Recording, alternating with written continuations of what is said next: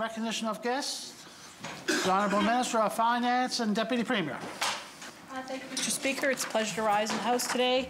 Uh, I'd like to uh, recognize that today, March 31st, is the Transgender Day of Visibility. It is a day to recognize and celebrate transgender Islanders in all and all the battles that they face. Uh, With more visibility, Mr. Speaker, comes more understanding. So, uh, Holland College culinary student Jillian Clark won a Senior Women's Academic Administrators Award for student leadership.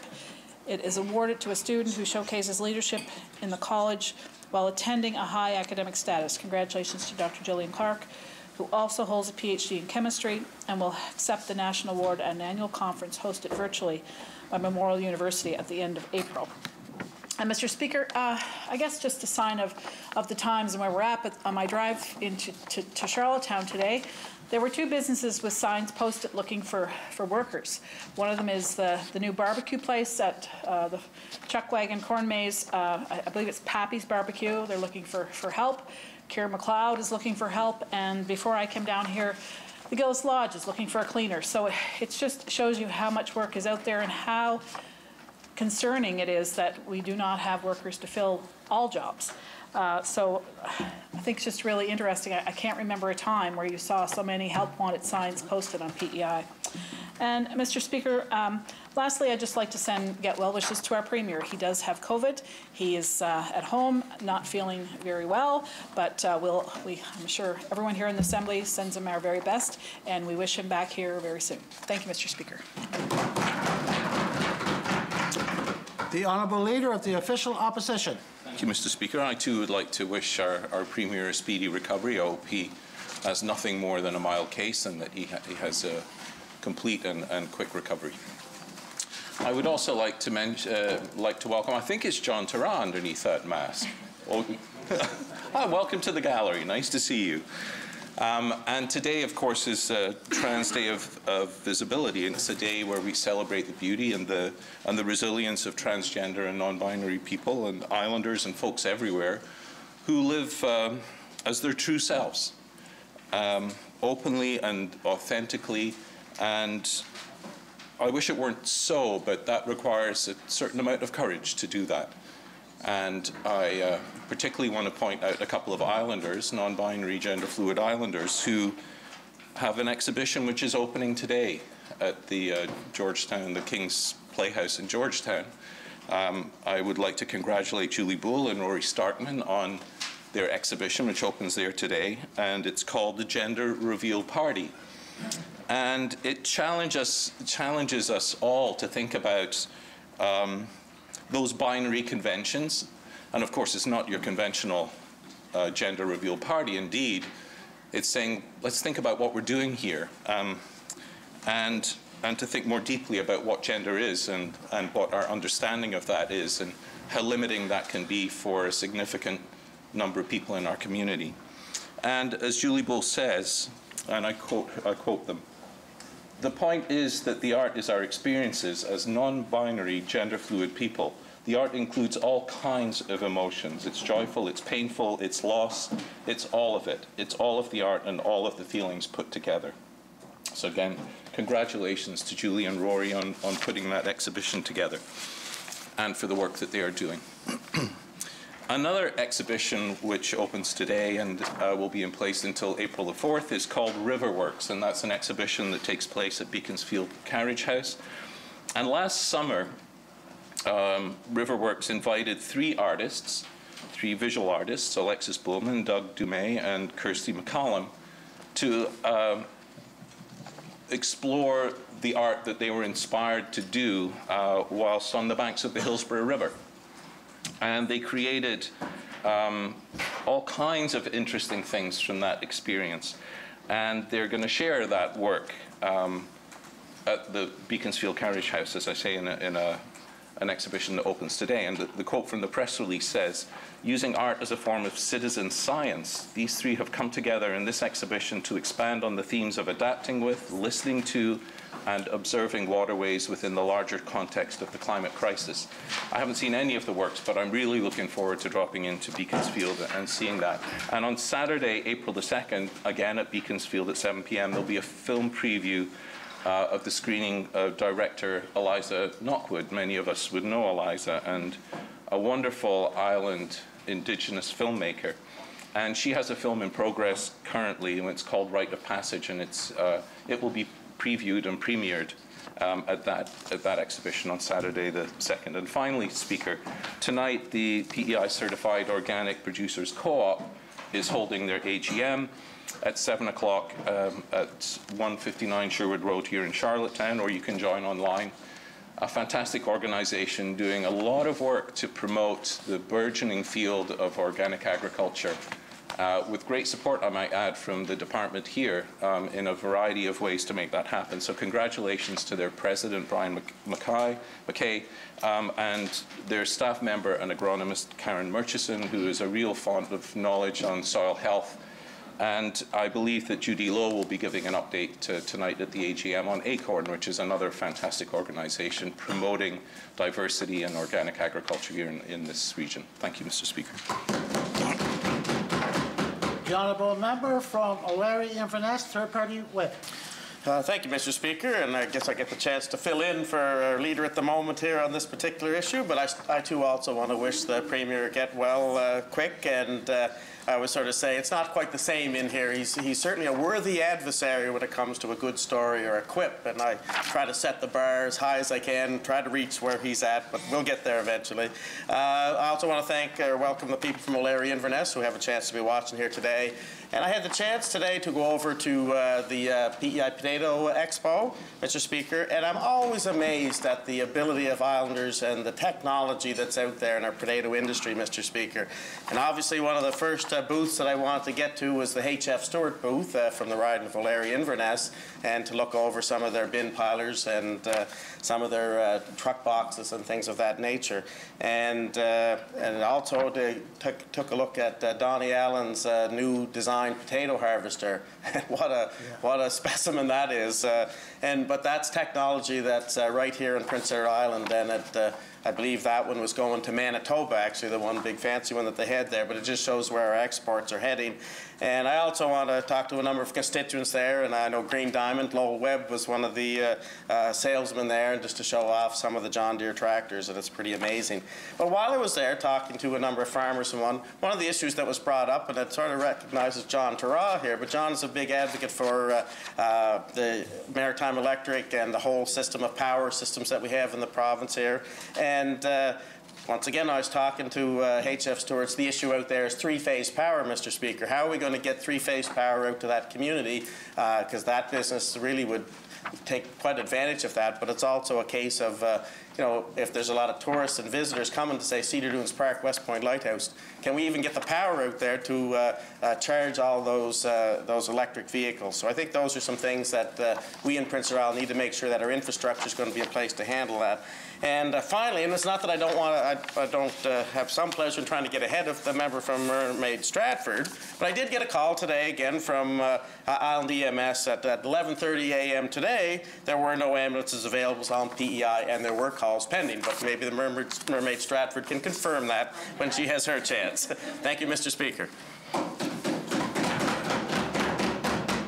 The honourable member from Charlottetown, Victoria Park. Thank you, Mr. Speaker, and hello to, to all my colleagues and everybody tuning in from around the island. Uh, Mr. Speaker, today, as has been mentioned, is Transgender uh, Day of Visibility, and I would like to congratulate um, the PEI Transgender Network for achieving the status of nonprofit. And Ali Inman is the, is the nonprofit's very first executive director, and Andy Glyden is the chair and uh, is working very busy today with Music PEI with the opening of the Canadian uh, Folk Music Awards, and I'm hoping to make it to the show this evening. And Mr. Speaker, this morning, as you know, I do breakfast program on Thursday mornings at Birchwood Intermediate, and I walked into the cafeteria after I was finished, and there was a massive, massive something on the floor, which I went over and talked to Jack Headley at the Department of Education and Rebecca Dawson, who's a pre-service teacher at UPEI, and it is an Indigenous map. And so for the International Indigenous Languages Day of, sorry, I botched that, International Indigenous Languages Day, um, they are looking at place names and how they've changed, how, you know, the, the English names have replaced the indigenous, indigenous names. And so they're looking at um, how geographical significance, the names represent something physical about that area or um, what the area is known for. And so a huge thank you to, um, to uh, Jack Headley and Rebecca Daw- Dawson for doing that. And I know they're rolling that out in various parts of the island. I think that's such an amazing opportunity. They're designing tons of, le- of lessons around that. I think it's very exciting. Thank you, Mr. Speaker.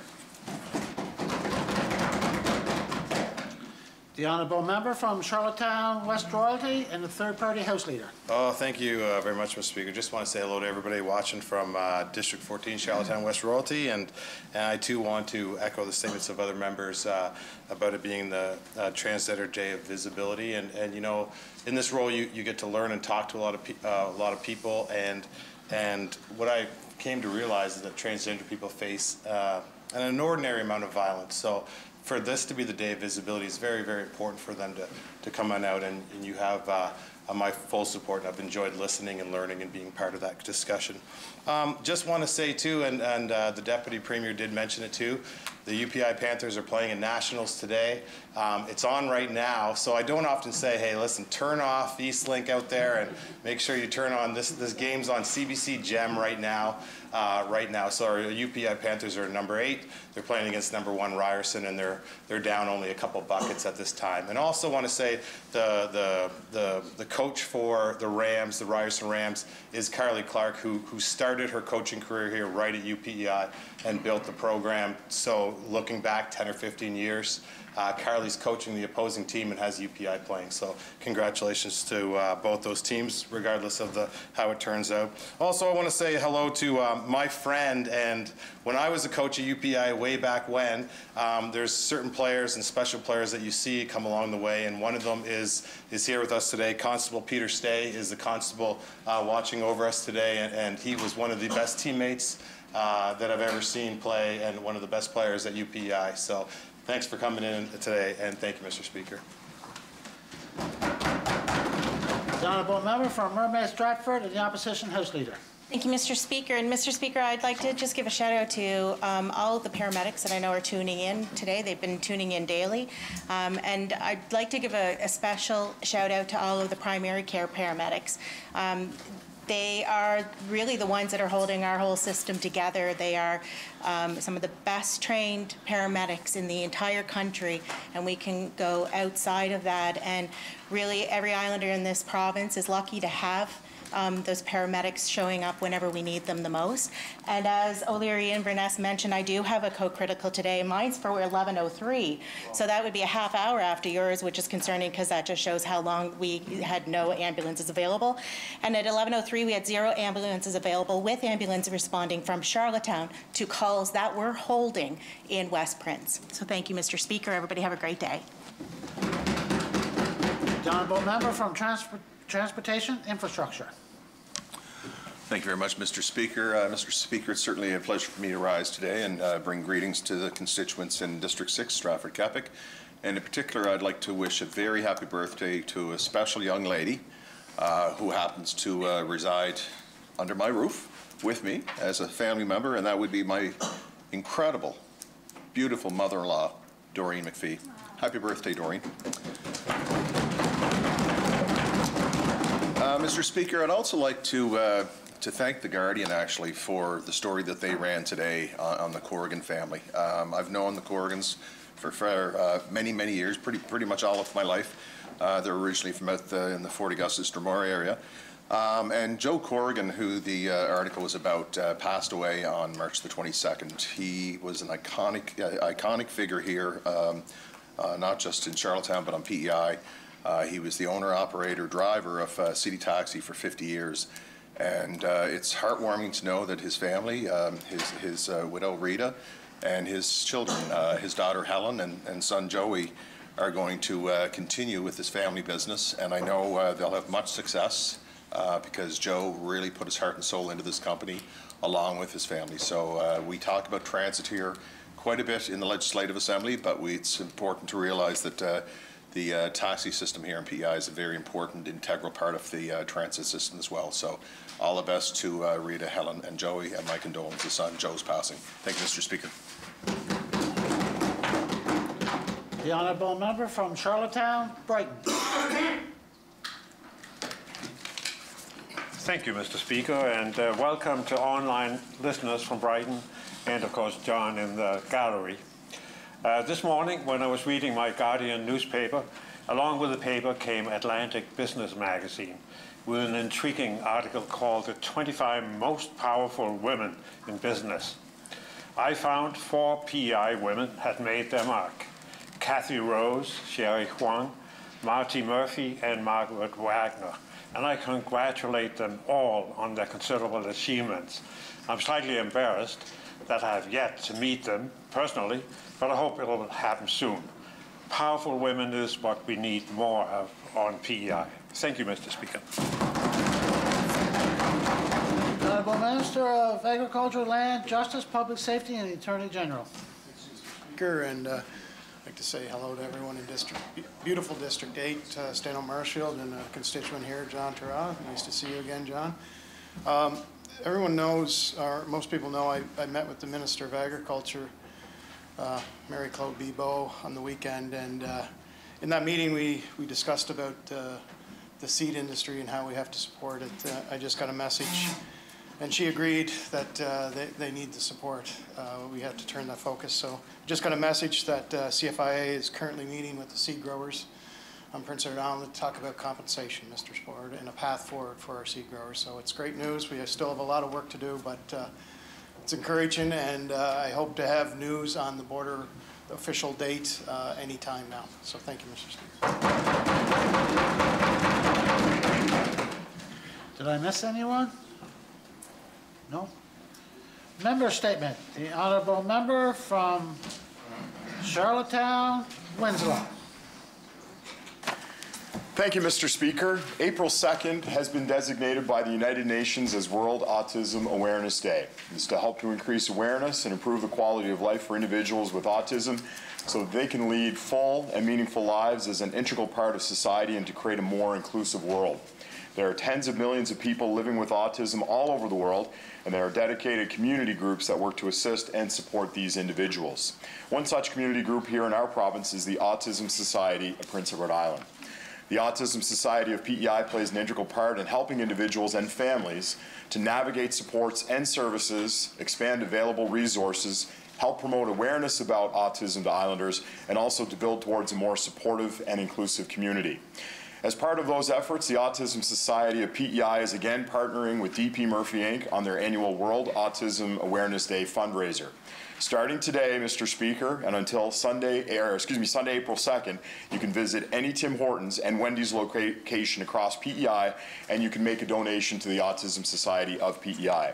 Now in its 11th year, this fundraising partnership has raised tens of thousands of dollars to support the activities of the Autism Society to support islanders living with autism throughout the year. So if you do happen to be at a local Tim Hortons or a Wendy's over the next couple of days and you can spare a donation, I encourage all Islanders to support the Autism Society to do such valuable work here in our community. Your generosity will be greatly appreciated and you will be helping enhance the quality of life for Islanders, individuals, and families living with autism. Thank you, Mr. Speaker. The honourable member from Charlottetown, Victoria Park. Thank you, Mr. Speaker. As we've established, today is Trans Day of Visibility, a time to celebrate trans and non-binary people from around the globe and acknowledge the courage it takes to live your life as your authentic self. It is also a day to acknowledge the violence, transphobia, and discrimination they continue to face. Mr. Speaker, I would like to take this opportunity to highlight Roots and Shoots, a program run through Peers Alliance. This program brings together parents and caregivers of transgender or gender creative kids. The program is offered in a safe, supportive, non-judgmental environment and is available to the whole family.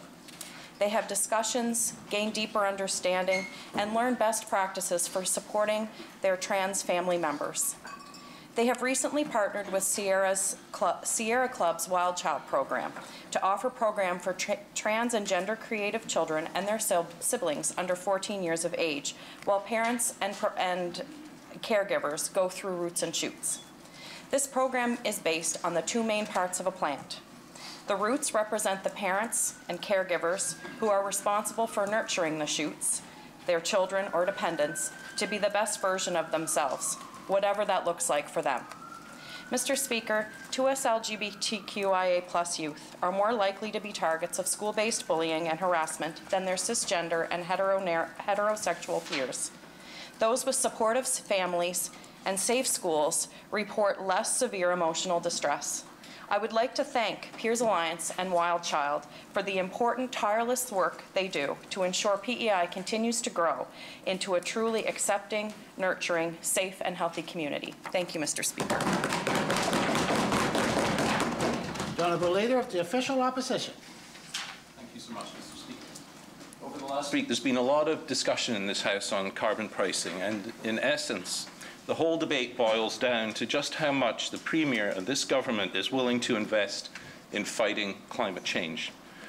Uh, the bad news for islanders and for our island is that the answer to that question is nowhere near enough.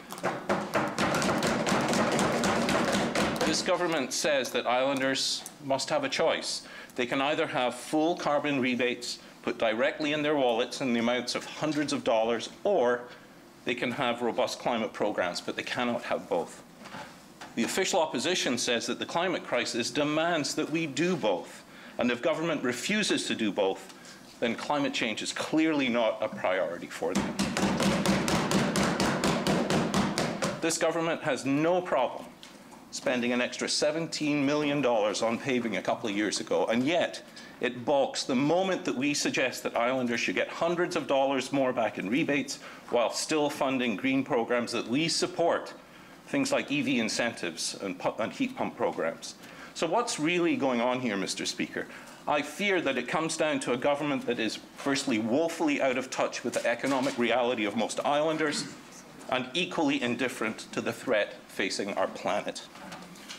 Perhaps most shocking, Mr. Speaker, was when the Minister of Finance, who is, of course, tasked with managing public funds, islanders' money, questioned what use $800 in carbon rebates would be to an islander making minimum wage.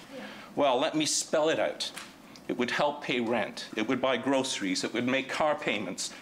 It would pay for transit passes. It would allow islanders to choose for themselves how best they spend their money, what they need to do with it to get by, and how they can best reduce their carbon footprint.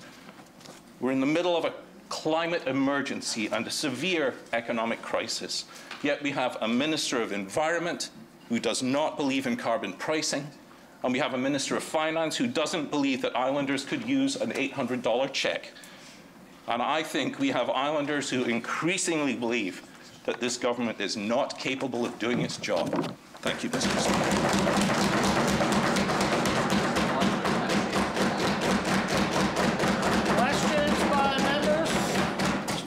With response to questions taken as notice. The Honourable Minister of Economic Growth, Tourism and Culture. Uh, Thank you, Mr. Speaker. Uh, Yesterday, uh, I was asked questions by the member from uh, uh, Sherbrooke, Tyne Valley, Sherbrooke, and uh, the Occupational Health and Safety OHS Division of Workers' Compensation Board is responsible for enforcing the workplace harassment regulations. Since the regulations came into effect on July 1st, 2020, there have been a total of 27 complaints filed with OHS Division. The breakdown is, uh, effective July 1st, 2020, uh, there was five complaints. Uh, 2021, there was 20 complaints, and 2022, so far, there has been eight complaints. Uh, The OHS division is not aware of any cases where the worker has been fired by an employer because of making workplace harassment complaint. Uh, Note persistent to the Section 30 of the OHS Act, no employer shall take discriminatory action against a worker for seeking enforcement of the OHS Act and regulations. By doing so, an employer would be considered to be in violation of the legislation. Uh, All complaints that are received by OHS are recorded. OHS has a record of each employer's history and their activities. Therefore, OHS can identify employers that have multiple workplace harassment complaints filed against them. Based on the complaints that OHS has re- received, there are no concerning trends related to any particular uh, one employer. Uh, Section 43 of the OHS Act sets out the penalties for violation of the OHS Act and regulations. including the workplace harassment regulations. If convicted of a violation, the employer could be fined up to $250,000 and impris- and/or imprisonment for one month. Recommendations for prosecution are made by OHS to the Crown Attorney. There have been no situations where OHS has been recommended prosecution as a result of employer noncompliance or violations of the workplace harassment regulations. Uh, It's also important to note that a worker can call and talk to the OHS officer about workplace harassment concerns, and this can done, uh, be done safe and confidential, uh, Mr. Speaker. Thank you. The honourable member from So- Social Development and Housing. Minister. Thanks, Mr. Speaker. Um, On Friday, March 25th, the member from O'Leary Inverness asked for specifics on benefits for travel a recipient of social assistance or assured income might receive. So, Mr. Speaker, all clients receive a flat rate of $25 per month for travel-related expenses, and then the department does cover costs of travel related to medical appointments. Uh, The specific answer to the question, as the member confirmed, is $46, as, as clients are provided funding on a per-kilometre rate for travel. Um, The funding can be accessed as frequently as needed, and that's an important point for travel. And Mr. Speaker, the per-kilometre rate has not been increased in a number of years, and that's one of the items that the department will be looking at increasing in the upcoming rate review. And Mr. Speaker, I have uh, a, a take back for another question as well from that same day. On Friday, the member from Charlottetown West Royalty asked questions pertaining to supportive housing and services offered at Smith Lodge. Um, And Mr. Speaker, uh, this is really, it's one page, it won't take too much time. I ask for your indulgence. It's a topic's often brought up, and there are many different numbers being used for these, these supportive housing. I want to take the opportunity to provide accurate and up-to-date information. So before the department took ownership of Smith Lodge, it was a 28-bed community care facility. So then Smith Lodge was opened in December 2020 with space for up to nine identifying men. And at that time, the Community Outreach Center occupied the additional space at 35 Weymouth Street. That's where Smith Lodge is. And intentions were to move the center and increase capacity up to 20 beds. Well, Mr. Speaker, eight of these beds are currently occupied by Deacon House clients, and the remaining 10 operate as transitional or supportive housing offered by the Salvation Army. So the remaining rooms, if you do the math, are used for administrative purposes. That's what's going on, including office and meeting spaces. So, Mr. Speaker, there have been 51 clients who have participated in supportive housing since December 2019. This includes 40 male identifying, uh, male identifying clients and 11 female identifying clients. And of those clients who have exited supported housing, the average participation time was about five months. So this information uh, was also provided uh, recently to the member in response to a written question. Thank you, Mr. Speaker. Anyone for a response? No? For our first question, I'll call on the honourable leader of the official opposition. Thank you so much, Mr. Speaker. Medical experts from across the country have said that masks are a simple, effective, and cheap way to control the spread of COVID. They are also warning that lifting mask mandates and other public health measures will lead to an increase in the number of infections. Some experts are warning that another wave of COVID is inevitable if we remove mask mandates. A question to the Minister of Health and Wellness. Is this government still planning to lift the mask mandate on April the 7th? The honourable Minister of Health and Wellness. Uh, Thank you very much, Mr. Speaker, and uh, certainly do thank uh, the Leader of the Opposition for that question. Very important, very relevant question. Uh, Mr. Speaker, as uh, the member, uh, the Leader uh, mentions the date of April 7th, which is uh, the date that the present emergency health order will expire. Uh, Mr. Speaker, over the last two-plus years, we have taken our direction from CPHO. We will continue to do so, Mr. Speaker, and I know with the ability, the expertise from CPHO and Dr. Morrison that uh, the best recommendations and uh, the best uh, go forward for all Islanders will be coming from Dr. Morrison in your office. Thank you. The honourable leader of the official opposition. Uh, Thank you, Mr. Speaker. Quebec's Public Health Agency has declared that their province is now officially in a sixth wave, with, e with the even more contagious BA2 subvariant of Omicron now being the dominant strain in that province and elsewhere in this country. Case numbers are up sharply, and more alarmingly, so are hospitalizations. And that's creating serious challenges for their healthcare system. And experts are urging stricter safety controls and, in order to stop spread. PEI, after two years of enormous success, now leads North America in terms of cases per capita, and our hospitalization numbers are also on the rise. Question to the Minister of Health and Wellness. What preparations are you making for another wave of COVID on our island? Uh, Thank you very much, Mr. Speaker, and again, thank uh, the Leader of the Opposition for the question. Uh, He is absolutely right when you walk across uh, the world, certainly across the country of Canada, uh, that uh, infections, the second, uh, second variant of Omicron is on the rise. It's becoming the predominant one. Uh, You look, Mr. Speaker, though, we are certainly in a different position right now with the great success that we have had on the island with our partners with regard to vaccination, that we do have antiviral medication, Paxlovid. So these are all factors that I'm sure that our experts, our experts that we do listen to, take into account when they put in place plans, Mr. Speaker. Thank you. The Honourable Leader of the Official Opposition. Thanks, Mr. Speaker. I saw, I heard a lot of absolutely correct analysis of what's going on and what has gone on, but nothing about preparations for a potential sixth wave here on Prince Edward Island. Several ministers and the Premier have put out photos of themselves meeting with various groups and often not wearing their masks. Visitors in the gallery have asked us why they must put on a mask in order to come in this legislature, only to be greeted by MLAs without them. A question to the Minister of Finance and the Deputy Premier. Why aren't all of your government ministers leading by example and wearing their masks? Finance, Deputy Premier. Thank you, Mr. Speaker, and uh, I think, Honourable Member, if you look at the LMC rules, we are adhering to those rules and we will continue to do that. Thank you, Mr. Speaker. The Honourable Leader of the Official Opposition.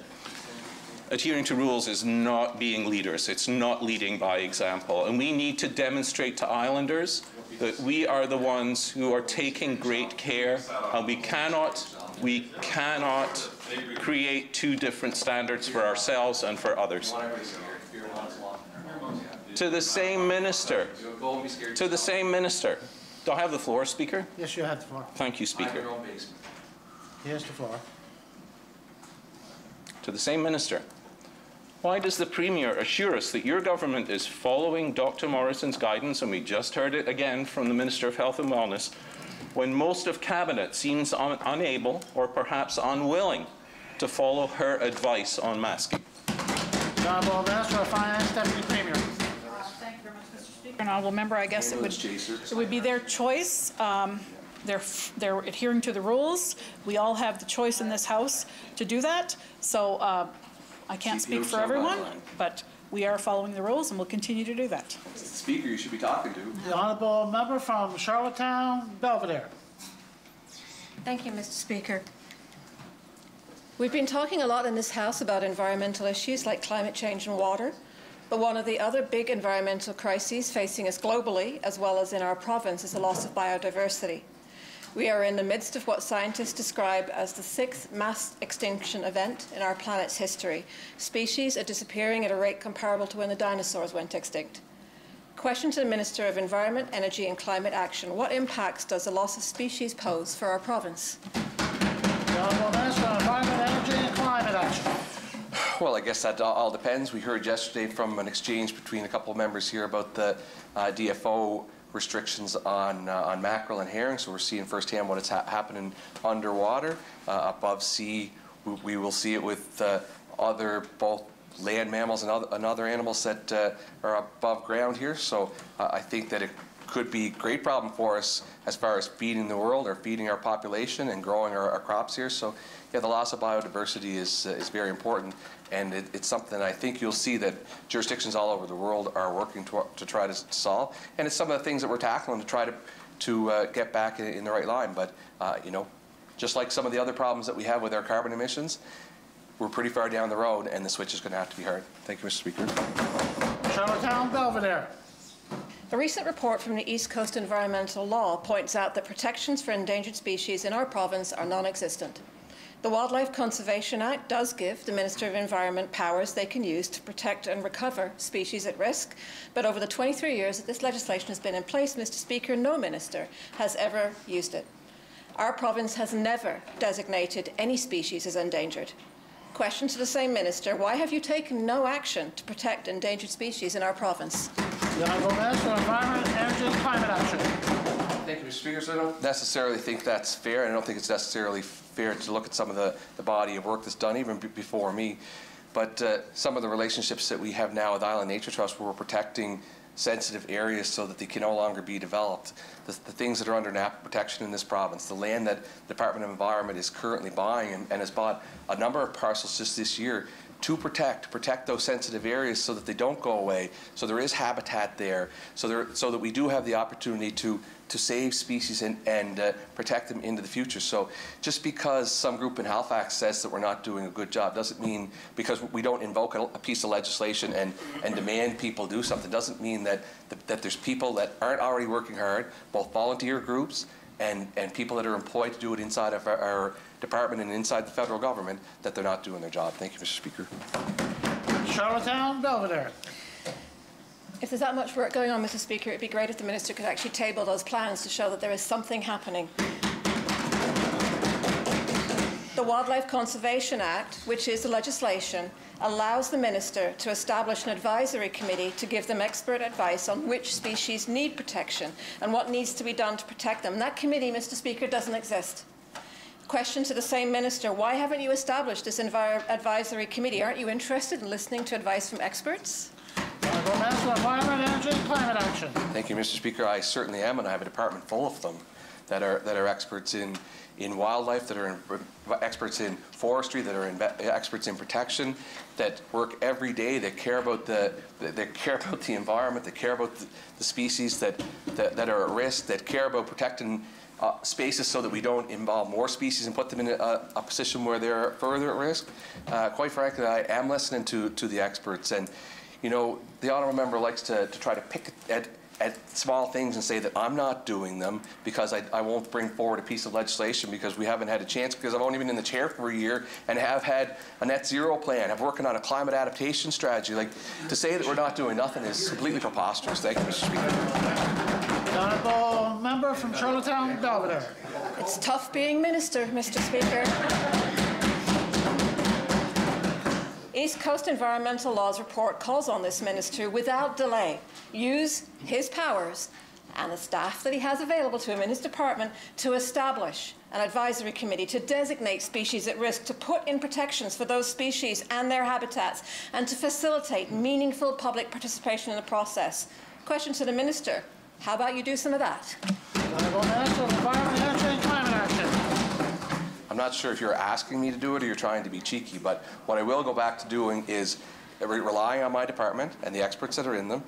I'll talk to them and I'll listen to what they want to do, and we'll bring forward the pieces of legislation, the policy changes that are that are needed, or any any groups or advisory boards that are needed based on the advice of the experts in my department. Thank you, Mr. Speaker. Charlottetown, Victoria Park. Thank you, Mr. Speaker. It came as no surprise to me that in the report on the incidents at East Wiltshire School, 100% of teachers' respondents said that they wanted their trans and non-binary students to feel loved and supported in their classes. Mr. Speaker, I bet that this is the case across every school in PEI. The support of a teacher can be life-saving to students, but what those teachers also said is that they needed better support from this government to ensure that they could effect effectively provide this safe space. Question to the Minister of Education. Since the release of that report, how have you increased your support for educators to ensure that they can best support their trans and non-binary students? Honourable Minister of Education, Lifelong Learning. Thank you, Mr. Speaker, and, and thank you, Honourable Member, for, for posing this question and, and certainly the incidences that East Wiltshire did bring forward, brought, brought forward to me um, and to all of us uh, some really necessary steps and training that we need to uh, ensure occur within our schools. Mr. Speaker, since that incident, we have rolled out our gender and diversity guidelines across our school system, and all of our staff have been trained on those, all of our school staff. In addition, we did hire a consulting firm, um, Beyond the Brim, who's been doing some work specifically with East Wiltshire and four other schools. Mr. Speaker, we've been leaning heavily on our partners, such as Peers Alliance and others, to help support uh, both the student population as well as our, as our staff, Mr. Speaker. I've heard from some in the department that there's, there's been more work done in the last year um, to support to support this than ever before, Mr. Speaker, and I'm committed to ensuring that that work continues. Thank you very much, Mr. Speaker. Charlottetown Victoria Park. Mr. Speaker, and, and on that note, I was talking to a few teachers who feel that they haven't had enough yet, so throw that at you.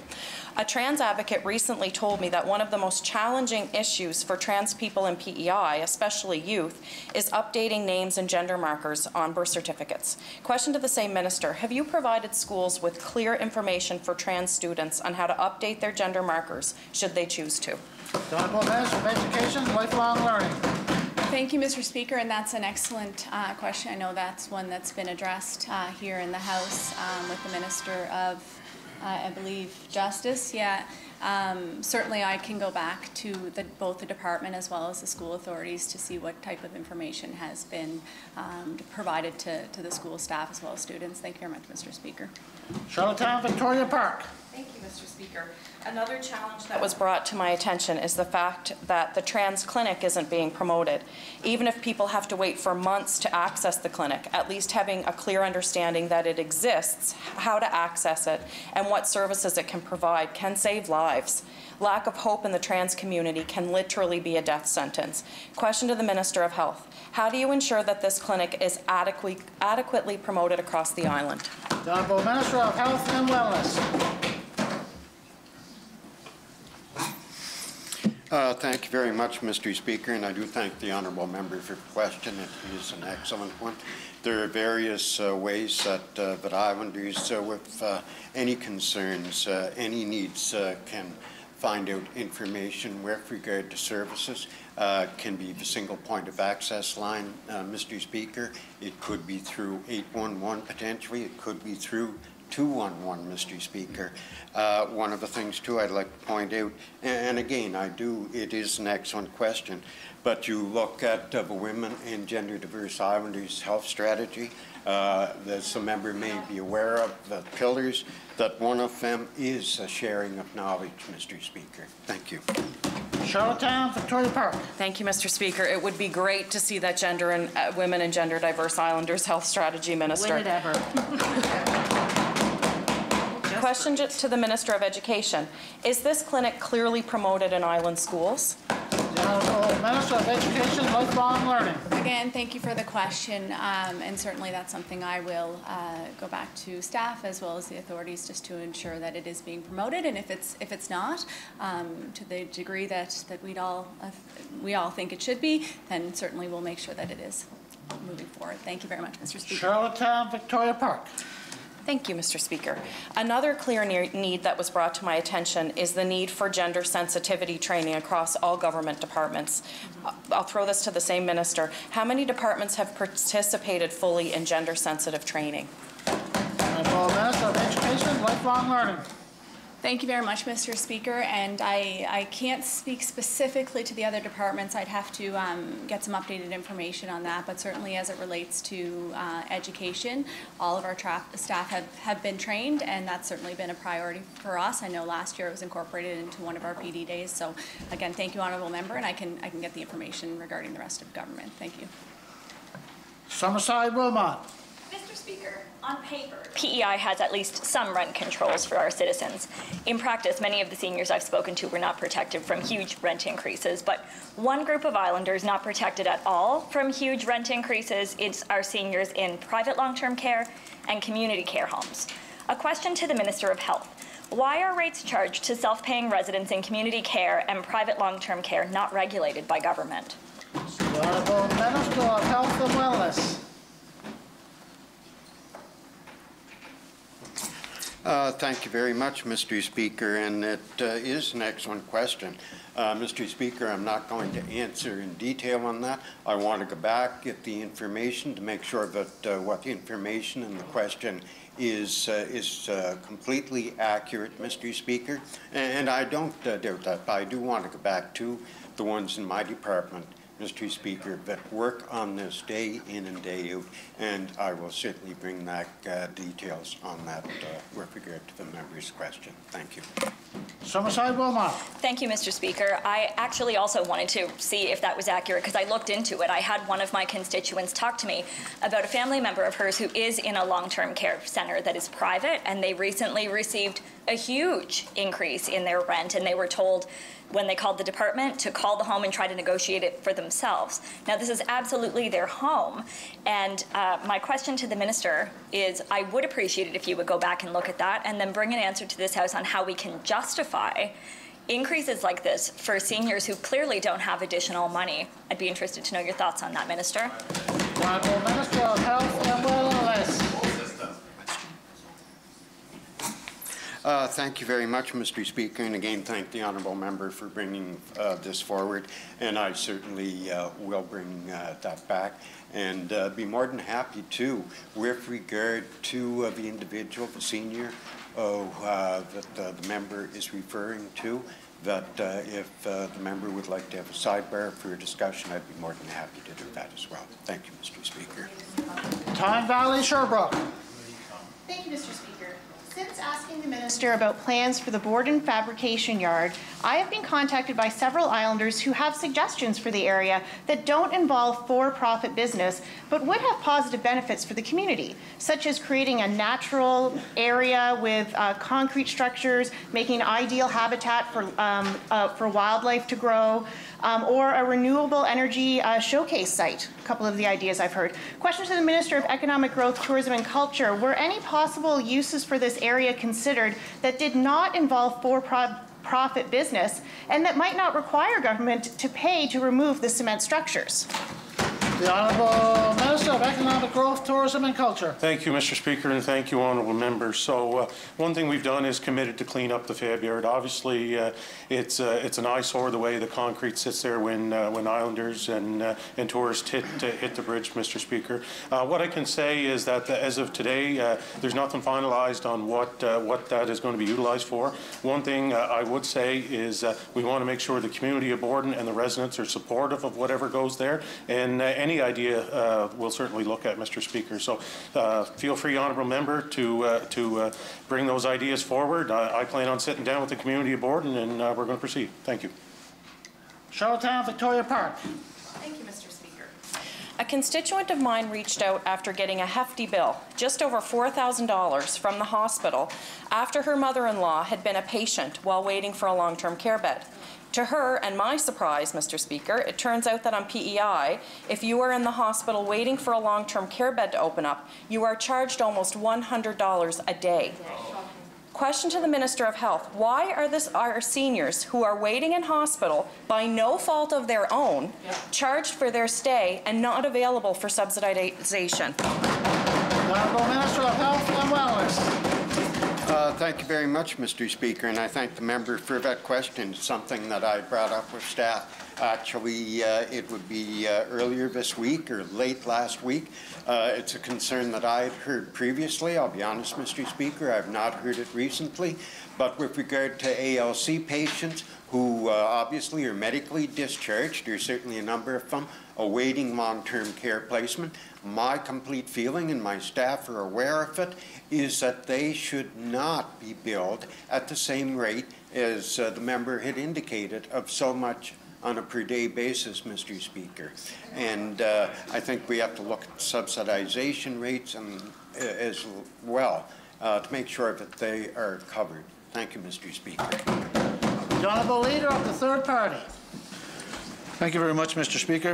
Mr. Speaker, for the past approximately five weeks, we've been debating the operating budget presented by the Minister of Finance. After approximately five weeks of scrutinizing and debating the budget, just yesterday we were made aware of a $9.6 million oh. accounting error.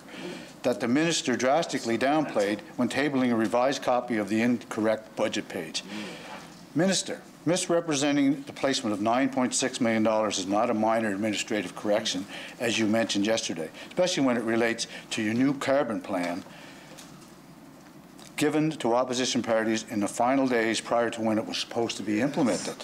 Question to the Minister of Finance. When did you become aware of this error? Honourable Minister of Finance, Deputy Premier. Uh, Thank you very much, Mr. Speaker. And Honourable Member, the, the error does not uh, affect the bottom line. It's just a transposition of numbers. Uh, We've been working with my department uh, for a few days now, for sure, maybe and we wanted to make sure that everything else in the, in the book was aligned up. We double-checked, I asked them to go back and double-check, and they did that. I have full confidence in, in my department, and we'll continue to, to work together. The, the uh, revenue is not debated on the floor of the House, so uh, it's something that we didn't catch right away, and I will, I will admit that, but it is not debated on the floor of the House, but honourable member, it does not affect the bottom line of the budget. The Honourable Leader Third Party.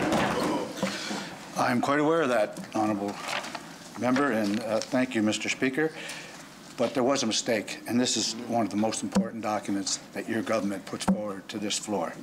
People are human, mistakes happen, but this is not a mistake you can simply blame on an unlinked spreadsheet and shrug off as, a, as no big deal. You advised this House that you were instruct that you instructed your staff to conduct a review of the budget in its entirety given this error. Question to the Minister. How long did your staff have to conduct this review? And do you now stand by your budget and, and commit that there are no more further errors? Uh, honourable Minister of Finance, Deputy Premier. Thank you, Mr. Speaker and honourable member. I will stand by the budget. I'll stand by the department, and I can assure Islanders that the budget book that we have now is correct. Thank you, Mr. Honourable Leader of the Third Party, second supplementary. Well, thanks, Mr. Speaker. So I'll, I, I guess she answered it, but I'm still going to ask this, this last supplementary. Because it's wrong numbers, that's why. That's okay. Take shots at me. That's all right. Go ahead. You guys uh, uh, profess that you're, uh, there's no heckling in this house and you fellas control the decorum. Go ahead. Take shots at me. Mr. Speaker, this error does not lie in public, in public servants in the Department of Finance. It is solely the responsibility of the minister to ensure that the money collected by island taxpayers is appropriately represented in the most important document that government presents to this legislature. Question to the minister.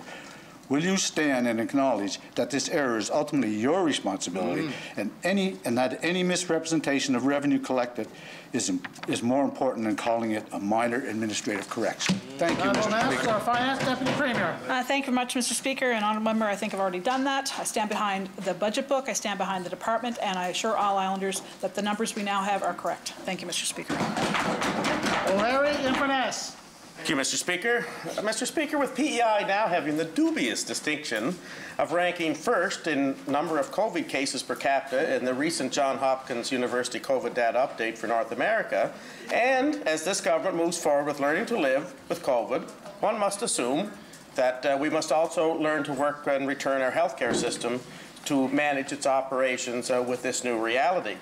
Unit 3 in the QEH is operating as a province's primary COVID uh, unit. Previously, it was a 36-bed medical unit and cared for many older adults awaiting long-term care. Question the Minister of Health. What is the plan for Unit 3 at the QEH? How many beds does this uh, unit currently have designated for COVID, and how many general beds are operating in this unit? Honourable Minister of Health and Wellness.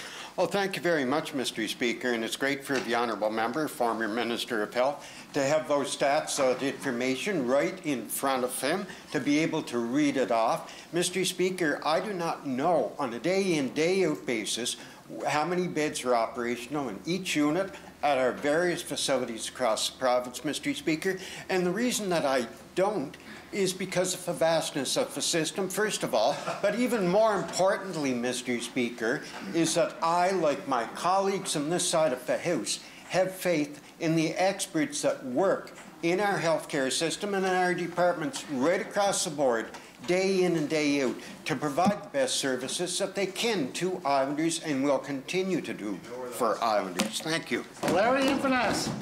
Mr. Speaker, I'm well aware of what the role is as a minister, and it is the minister's role to make sure that he's informed and updated so he can inform this legislature of facts and information. Yes, I get, doesn't have to know every number, Mr. Speaker, but these are pretty important numbers that you would assume he'd be updated on. Part of the plan to increase capacity for COVID patients included six geriatric psychiatry beds at Hillsborough Hospital, beds that were always full.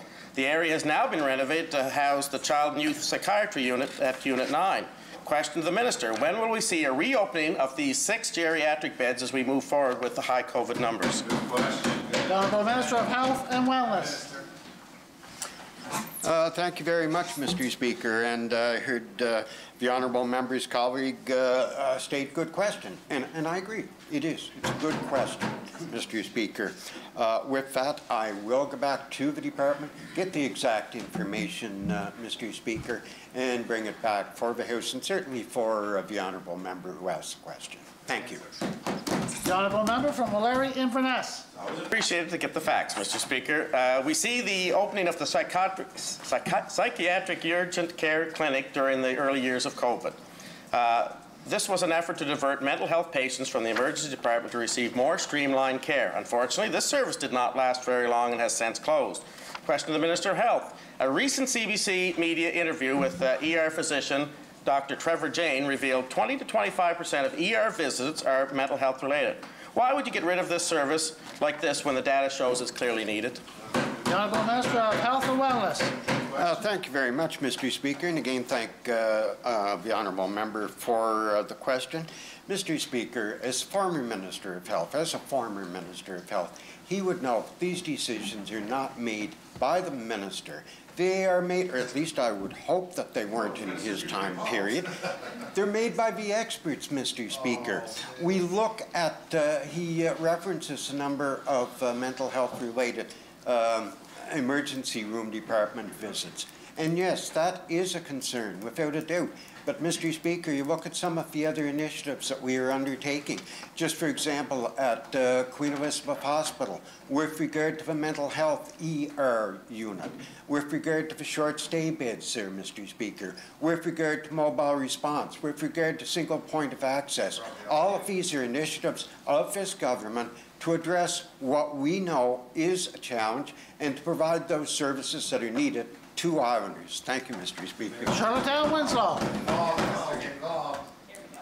Thank you, Mr. Speaker. Um, I had a great exchange last week with the Minister of Environment, Energy and Climate Action. I figured I'd go back and follow up on e-bike or electric bike incentives. I had the chance to uh, check out e-bikes. I didn't know a lot about them before at an event last summer uh, that the Minister put on in District 10 by the Canadian Tire in Charlottetown. Um, others that were there were very impressed by these e-bikes. Now, the rebate is, I've heard, is $500 for an e-bike. Now, comparing that to some other jurisdictions across Canada, Mr. Speaker, BC, I think, is over 1,000. Alberta, I believe, is over $1,000. Question to the minister, is the $500 for rebate set in stone, or is that a number that you can look at to maybe increase ridership? The Honourable Minister of Environment, Energy and Climate Action.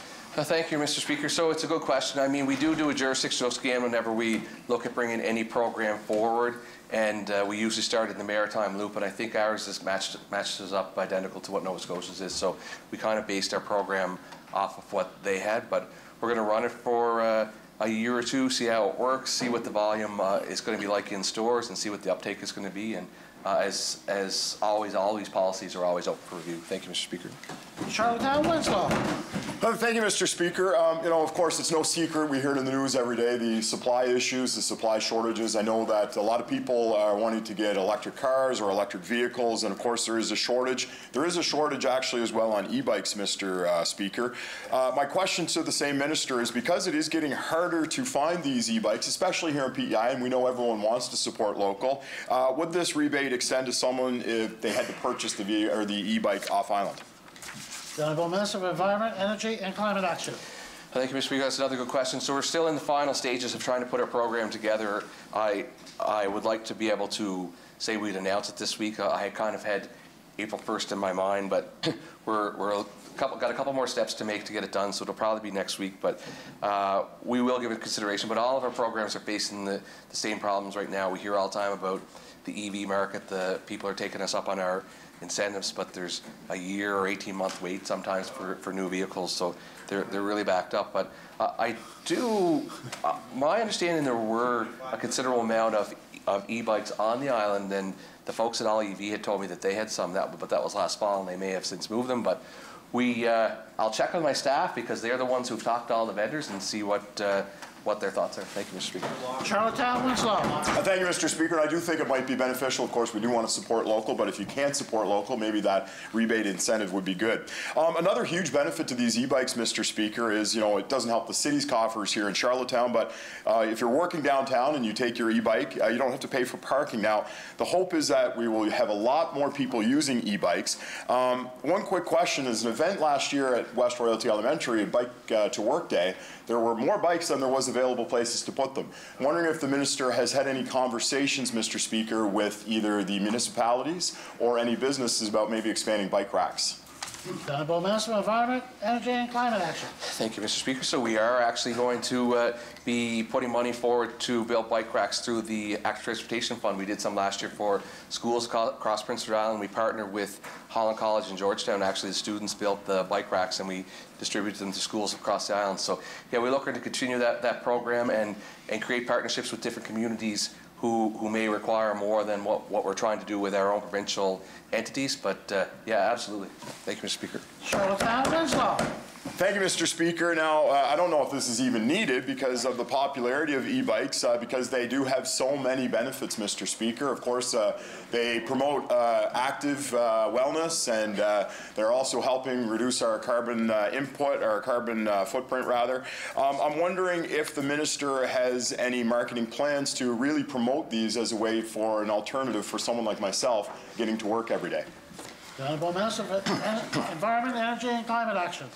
Thank you, Mr. Speaker. So yeah, that's a, a long-term goal, and I think that if you, you ask around, there's, a, there's probably a different comfort level with traveling around with the current uh, infrastructure that's in place. So that's why we're trying to build up communities and partner with Charlottetown and Stratford and Summerside and, and Cornwall, some of our, our bigger jurisdictions to make sure that they have those bike lanes built. And of course, we're working with our smaller jurisdictions too. So I think we still have some work to do on the infrastructure front in some of the municipalities to make it ultra safe. But yeah, we need to promote it. The goal is to have people taking, uh, their walking or biking in some form of biking to, uh, to work to cut down on our carbon emissions. Thank you, Mr. Speaker.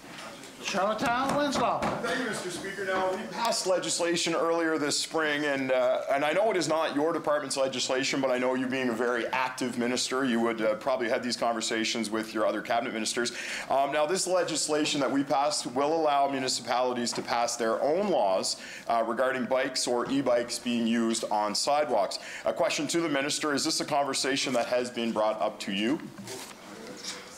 The Honorable Minister of Environment, Energy and uh, He'll. Transportation Infrastructure. Thank you very much, uh, Mr. Speaker. Um, So, Mr. Speaker, the, the reason I'm rising to this specific question is it uh, would relate more to, towards my department. And uh, certainly, we are having those conversations um, with, uh, with municipalities. Uh, As you're fully aware, or would be aware, uh, we did bring in legislation already to allow municipalities to, to govern uh, bicycles on, on uh, sidewalks in their own communities.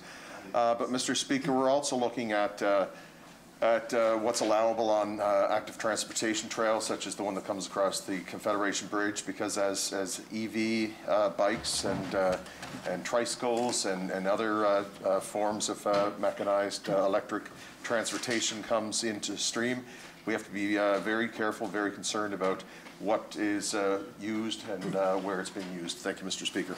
Charlottetown, Winslow, your second supplementary. Uh, thank you, Mr. Speaker. Uh, I appreciate the uh, Minister of Transportation Infrastructure rising to answer that question. I guess this question would probably go to him as well. Um, and again, maybe it is more of a city issue. That's the problem we run ti- sometimes as urban MLAs. But um, in my area specifically, if I were to take an e-bike to work, I would have to walk for probably about two kilometers with my bike before I would get into a bike lane or a thing. And again, I know this is probably more in the city's legislation, but again, I just wanted to make sure that those are conversations that I'm hearing, and I'm wondering if the minister has heard them in his talks the, with the municipalities. Honorable Minister of Transportation Infrastructure. Thank you very much, Mr. Speaker. So, Mr. Speaker, certainly there are uh, different rules in different municipalities and, and uh, in, in non-incorporated areas as well. And, and so, yes, we are working very closely with the uh, PEI Federation of Municipalities uh, on this issue. And uh, uh, we're, we're trying to bring everyone together because the last thing we want is a really piecemeal um, set of rules across the island. It has to be consistent, it has to be safe, and it has to be recognizable for, for all users. Thank you, Mr. Speaker. The honourable member from Tyne Valley, Sherbrooke. With food prices skyrocketing, food insecurity is a growing concern for low-income islanders, with single women and lone parent families being particularly vulnerable. Question to the Minister of Social Development and Housing. Other than in-school food programs, what are you doing to ensure single women and families are able to, uh, to put food on the table? The Honourable Minister of Social Development and Housing. Thank you, Mr. Speaker, and uh, in particular with our new uh, Poverty Elimination Strategy Act in place, this is an area that we're very concerned about in the department. And Mr. Speaker, what we've done is we've uh, we've raised the the rates um, recently. We we did uh, we raised them last year, um, and then we we gave a uh, um, a one-time amount at Christmas time to families. And Mr. Speaker, we're looking to uh, to raise them again this year. I look forward to having the budget on the floor. We can talk about that. But we want to make sure that uh, we eliminate food insecurity. We want people to have food security. We want to make sure that, in particular, families have the food they need. Thank you, Mr. Speaker. Tyne Valley, Sherbrooke. Thank you, Mr. Speaker. And I believe the minister is talking about raising the rates uh, for social assistance, which is important, but there are also low-income islanders who are the working poor, um, and they're, they not, they're not helped by that. Women and gender diverse small business owners have also been disproportionately impacted by COVID-19 and rising costs. Question to the Minister of Economic Growth, Tourism and Culture. What programs and supports have been put in place that specifically meet the needs of women and gender diverse folks in business? Of Economic Growth, Tourism and Culture. Uh, Thank you, uh, Mr. Speaker, and thank you all member for the question. So uh, over the course of the last year, we've rolled out many programs through uh, Skills and Innovation uh, that would uh, exactly help women get back into the workforce, upskill, as well as some entrepreneurship as well, Mr. Speaker.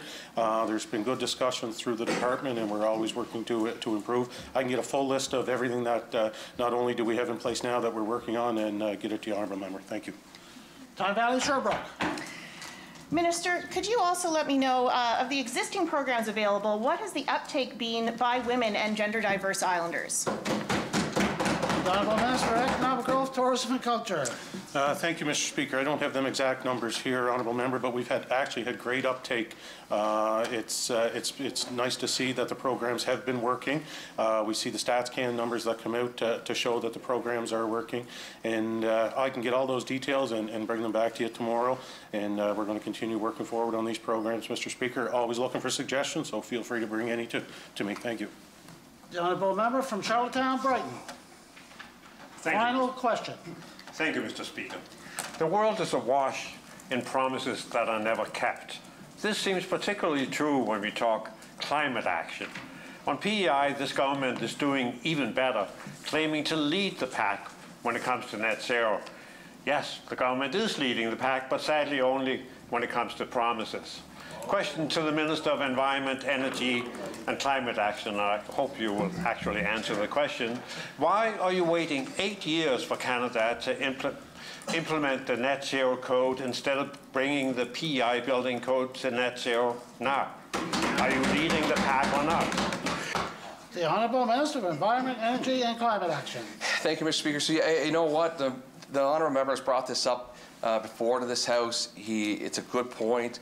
We, we do need to know that the buildings that are being built now, and there's a lot of them, if you look around Charlton in particular, there's buildings being built everywhere that they are going to be to some code that's going to be clo close enough to net zero that we can bring them there because the last thing we want is to get in the final leg of our journey to our 2030 goals and our 2040 goals and have to retrofit buildings that are six or seven years old. So what I will tell you, though it, it rests with my honourable colleague over there, I will uh, have a, I'll talk to him about can we do it early, what would the implications be, and I'll get back to you. Thank you, Mr. Speaker. End of question period. Honourable Member from Environment, Energy and Climate Action. Thank you, Mr. Speaker. I rise on a point of order. Uh, early in the question period, the Leader of the Opposition insinuated that the members that are sitting over here, particularly, you know, the Cabinet, were uh, breaking some sort of rule by not wearing a mask while they're at their seat. And I do want to note that LMC makes the rules of this Assembly. The, the Honourable Member sits on, on legislative management.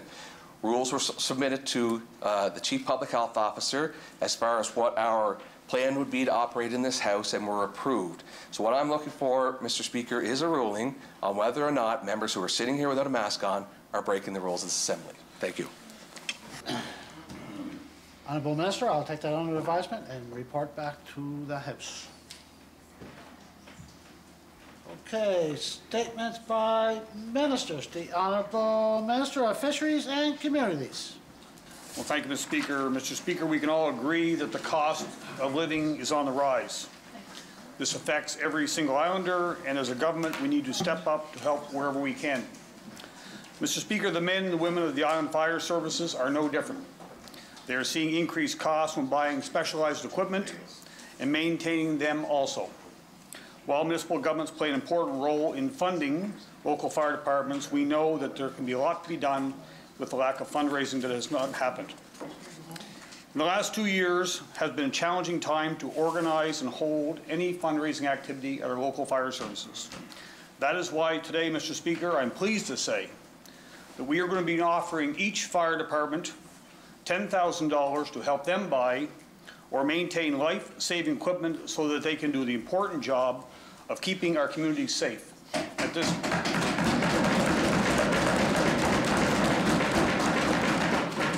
At this time, Mr. Speaker, I'd like to thank the Minister of Justice and Public Safety for joining me in this, this initiative. The PEI Fire School will also be receiving $10,000 to help with their op operations. We all know how important this institution is. As you know, Mr. Speaker, as a previous firefighter, if you want to become an island firefighter, you go through the fire school. Providing them this additional grant will help with training, recruitment, and retaining efforts, all of which are necessary for the next generation of firefighters. Mr. Speaker, in total, this one-time grant of $360,000 is an investment in the people who help keep our communities safe.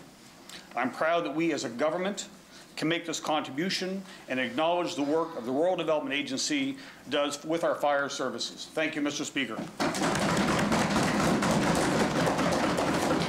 The Honourable Member from Summerside South Drive. Thank you, Mr. Speaker. Any announcement that uh, we're getting more funding for our firefighters is a good one. I mean, I, I've sat down with firefighters across the table from me and heard stories of uh, due to a lack of funding, showing up at a fire and the rules keeping that firefighter from going in to save people and, and the, the impact that that had on that firefighter. So any funding we can give to our firefighters um, to prevent these kinds of things that break our heroes is a good thing. So the more funding, the better to our firefighters. I applaud this announcement. Thank you, Mr. Speaker. Honourable Member from Tignish Palmer Road, Deputy Speaker. Thank you very much, Mr. Speaker. And I, too, want to uh, thank the Minister for this announcement. Um, we all know that uh, these brave individuals who are courageous put their name forward um, to, to help all islanders, to go where um, you know, they deal with situations that I know personally I couldn't deal with. So it takes a very special person to do what they do. And the majority of our firefighters in Prince Edward are volunteers. So they give of themselves. Um, so to have um, $10,000 go back into a fire department, especially these volunteer fire departments again, who the firefighters not only do what they can to help uh, the community and help every islander, but they also help fundraise to keep these fire departments open. So $10,000 on life-saving equipment is going to go a long way um, to, to help uh, these, these smaller ones especially um, right across Prince Edward Island. So I, uh, I, commend the minister for, for, for this announcement, for looking into this, for giving this money. Now I'm just waiting on the Minister of Justice to make an announcement that there's going to be local counseling support for uh, volunteer firefighters immediately. Thank you. End of statements by ministers. Presenting and receiving petitions. Tabling of documents. The Honourable Member from Mermaid Stratford and the Opposition House Leader. Mr. Speaker, oh, sorry. Mr. Speaker, by leave of the House, I beg leave to table a document from EndoAct Canada, which outlines their, um, their plan for the need for action on endometriosis in Canada. And I move, seconded by Charlottetown Victoria Park, that the said document be now received and do lie on the table. Shall it carry? Any more documents? Did I miss anyone? the Honourable Member from Mermaid, Stratford, and the Government House Leader. Mr. Speaker, by leave of the House, I beg leave to table an email from Matthew Crossman dated on December 1st. Um, This email outlines uh, thank you and appreciation of time spent with the official opposition, and um, I I move, seconded by the member from Charlottetown Victoria Park, that the said table be now received and do lie on the table. Shall it carry? Another one? Mr. Speaker, oh, sorry. No, go ahead. Okay, sorry.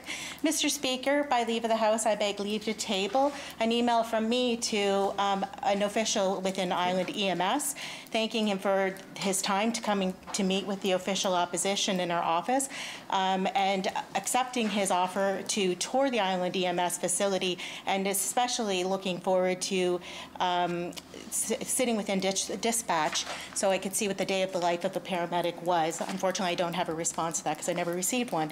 And I move, seconded by Charlottetown Victoria Park, that the said document be now received and do lie on the table. Shall it carry?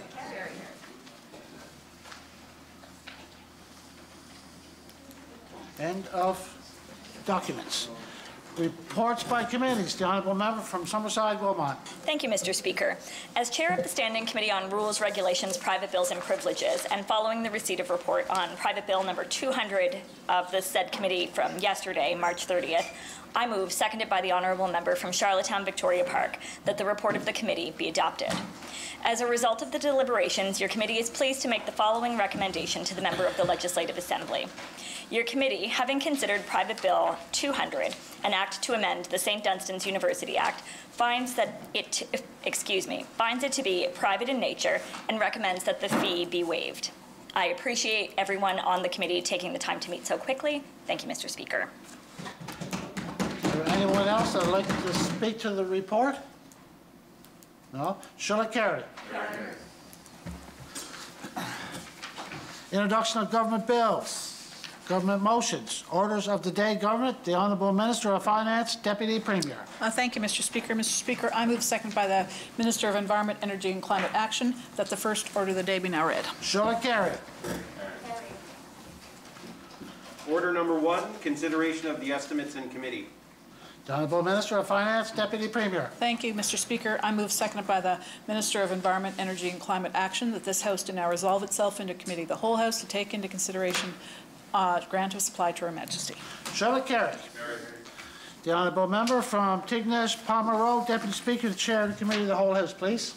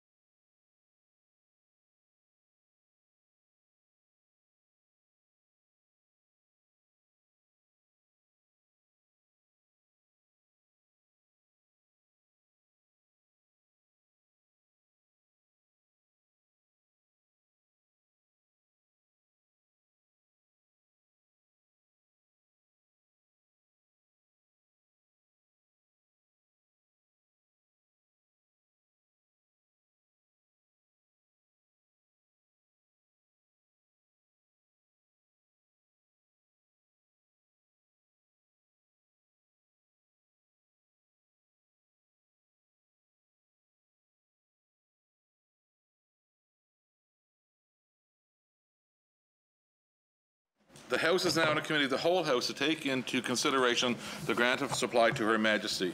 A request has been made to bring a stranger onto the floor. Shall it be granted? Honourable members, we are on page 110, the Department of Health and Wellness. The section Community Care Facility and Private Nursing Home Inspection has been read and is currently under debate.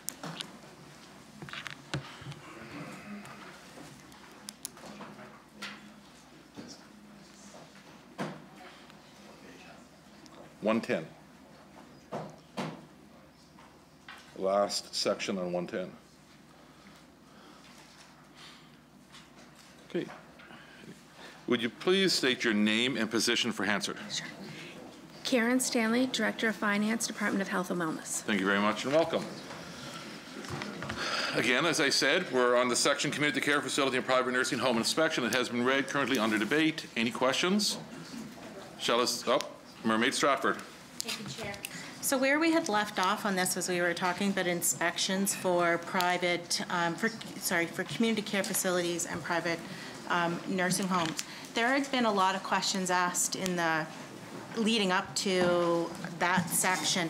Is there any documentation that can be tabled on questions that were taken as notice in the, um, in those debate days? Or have they all been tabled?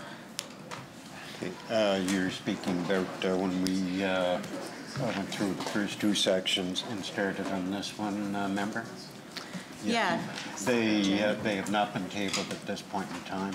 Uh, Staff are working on them and would anticipate that they will be tabled uh, tomorrow or at the latest next Tuesday.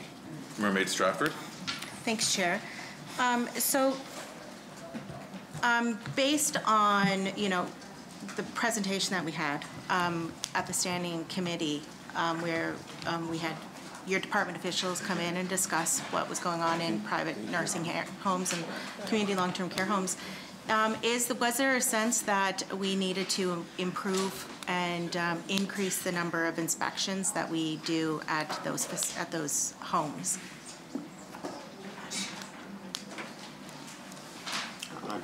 Sorry, my apologies, but if you could repeat the question. Could you repeat the question, Mermaid Stratford? Sure. So we had a lot of discussion at the standing committee um, about the inspections and the rate of inspections and whether we were doing enough, especially when it comes to COVID guidelines, right, and ensuring isolation protocols were being, im- um, were being put in place.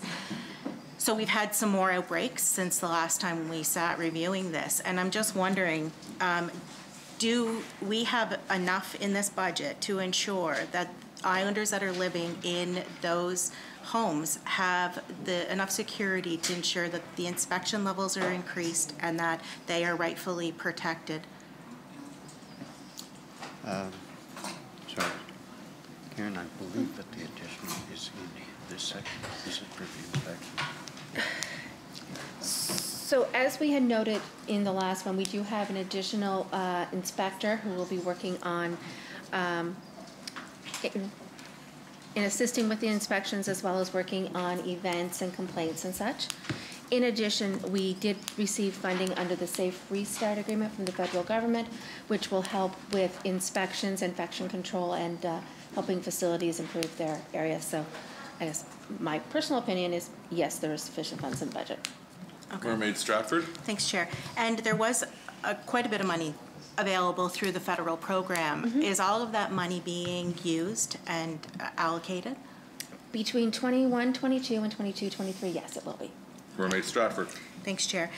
And can you tell me how often we inspect these homes on a regular basis? And will that be increasing at all, given COVID? I'll have to bring that back. Mermaid Stratford. And I think we all agree, there's five FTEs that are being used. There was four FTEs plus one casual, I believe is what there was. And that is for all of the long-term care homes uh, and uh, community care facilities across the province.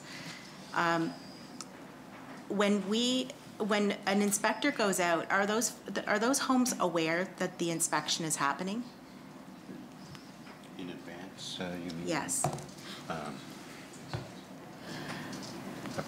I'd have to bring that back, I'm not sure. Okay. Mermaid Stratford? Thanks, Chair.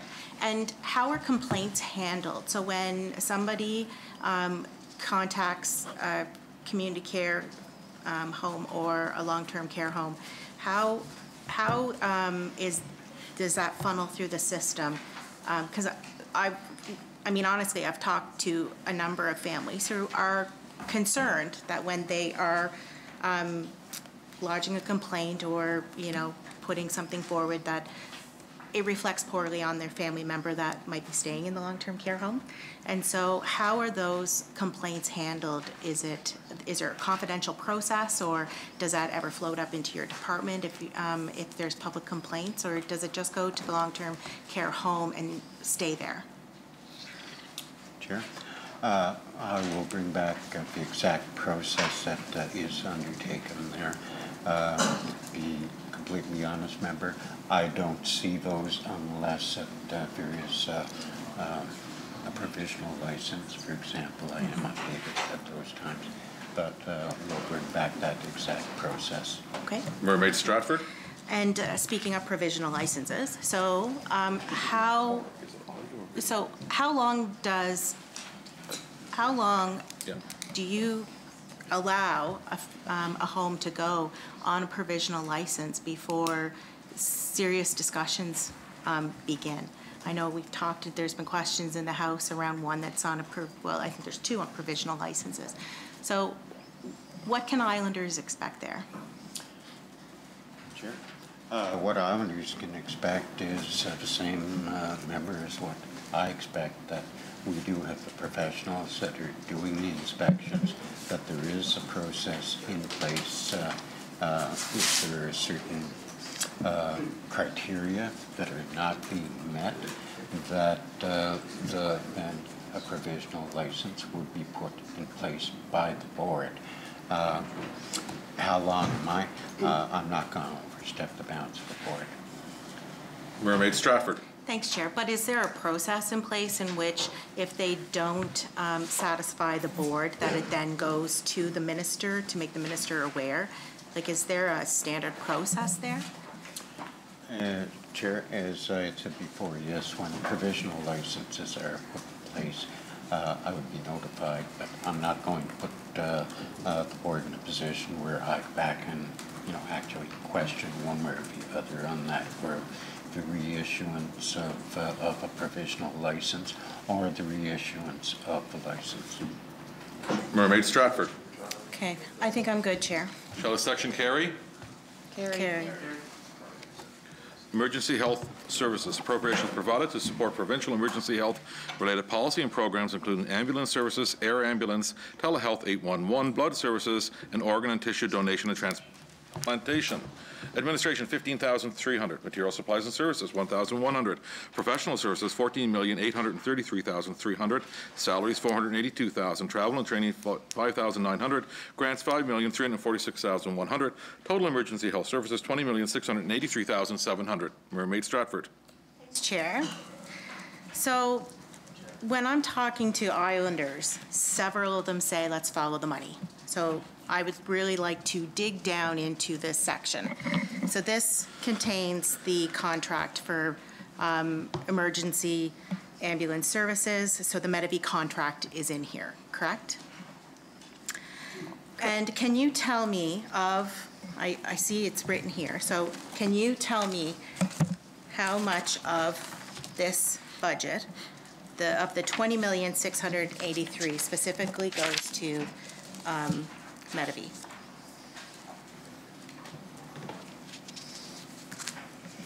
Uh, Mr. Ranger, correct me if I'm wrong, but my understanding that uh, in this budget, and again, please feel free to, uh, to jump in if I'm Mhm. not accurate, but uh, uh, for transport and ground ambulance service. Honorable member, uh, sorry, Minister, um, we're having difficulty hearing you. Um, And just ask a few things. One is, number one, but we don't hear through your mic, but if you could just speak up a little bit, if if you don't mind, we would appreciate it.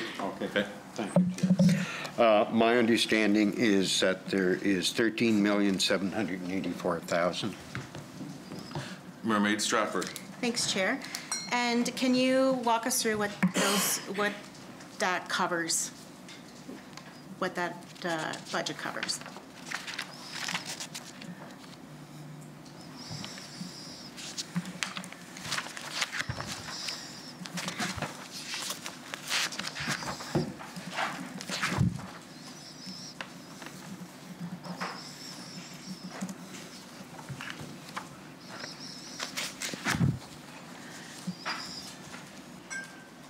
What regards? So it's the ground ambulance services, that is the bulk of it. In addition, there's seniors transports and hospital transports.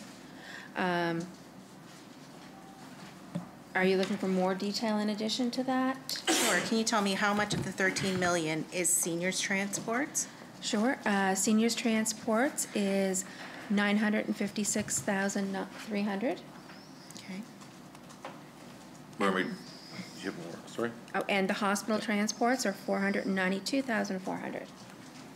Mermaid Stratford. Okay, so that leaves just over, about, just over 11 million that goes into the grant, the ground service? That's correct. That, Mermaid Stratford. Just over 12. just over 12 million. Okay, thank you. My math wasn't great there, but, um, okay. So that is all sole source to, to one company. Is that accurate? There was an original RFP back in 2006, and since then, in accordance to the agreement, it has been extended. Mermaid Stratford. Thanks, Chair. And in the revenues, how much in revenues does the province collect? Is there any amount of money from the ground service, um, um, emergency services collected in revenue by the province, or is that all collected by the company operating the, the service? It's not collected by the province. Okay. Mermaid Stratford. Thanks, Chair. So that $150 that every resident pays in order to take an ambulance to, you know, to a hospital or whatever, that is all paid to the, the private company? That is correct, with the exception of the seniors and now the palliative care, which the province pays. Mermaid Thanks, Stratford. Chair. And does the province subsidize that um, emergency trip at all? Or is the actual cost $150? Uh, Yes, the province would subsidize uh, a portion of that member. Mermaid Stratford. Thank you, Chair. Can you tell me how much that, the subsidy, subsidy is from the province for that? We'll bring that back, that exact amount. Mermaid Stratford. Thank you, Chair. Um, I think, you know, reporting is really important, and I, I'd like to understand what reporting you receive from, from this private company on the uh, services that they provide to the province. We'll bring that back, Chair. Mermaid Stratford. Thank you, Chair.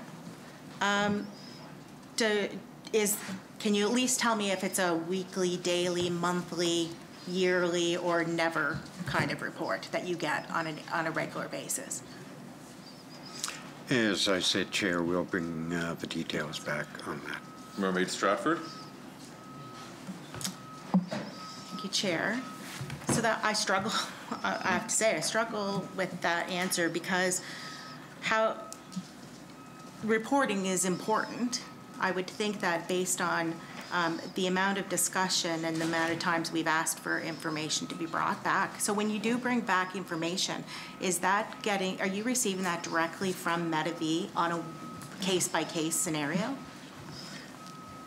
Uh, Chair, when uh, you say a case-by-case scenario, uh, maybe a a little elaboration on? Can I- Stratford. So for instance, when one of the members of this house asks you what's the response time from O'Leary to West Point on a river, and you come back to this house to provide that information um, as a response taken by notice, are you getting that information directly from Medavie whenever one question is asked, and then that you have to go back every time that question is asked to get that information from the company? Yes, it would uh, be, uh, when you ask uh, on a case-by-case basis, yes, I would go back and ask for the information uh, for that time period, member. Uh, Certainly, as, uh, as I'm sure you can appreciate, throughout the day. Response times may vary to a certain extent. But uh, there is the information here, Karen, I believe, with regard to the response times. Yes. But this would be over an extended time period. It would also compare uh, quarters of one year to quarters of previous years and the like. Mermaid Stratford. Thanks, Chair. And so is that information that you get like on a quarterly basis, or do you get it on a more up-to-date basis? If you have in front of you, for instance, if you have something that's showing you what the difference is quarter after quarter, is that just something that you get on a sporadic or?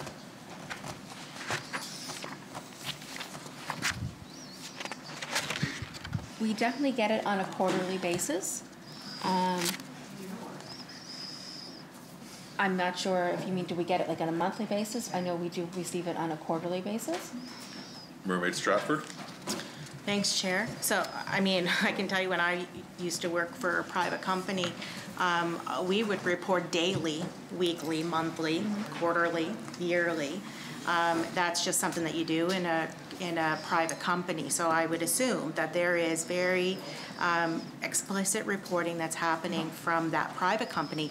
What I'm trying to get at is, are they keeping that in-house? Or do you, does your department, knowing that you're auto-renewing co- um, contracts and you have done that for the last three years, is there nothing set up with the with the department in order for you to be fed information on a regular basis so that you can monitor whether the service is meeting what expectations we might have?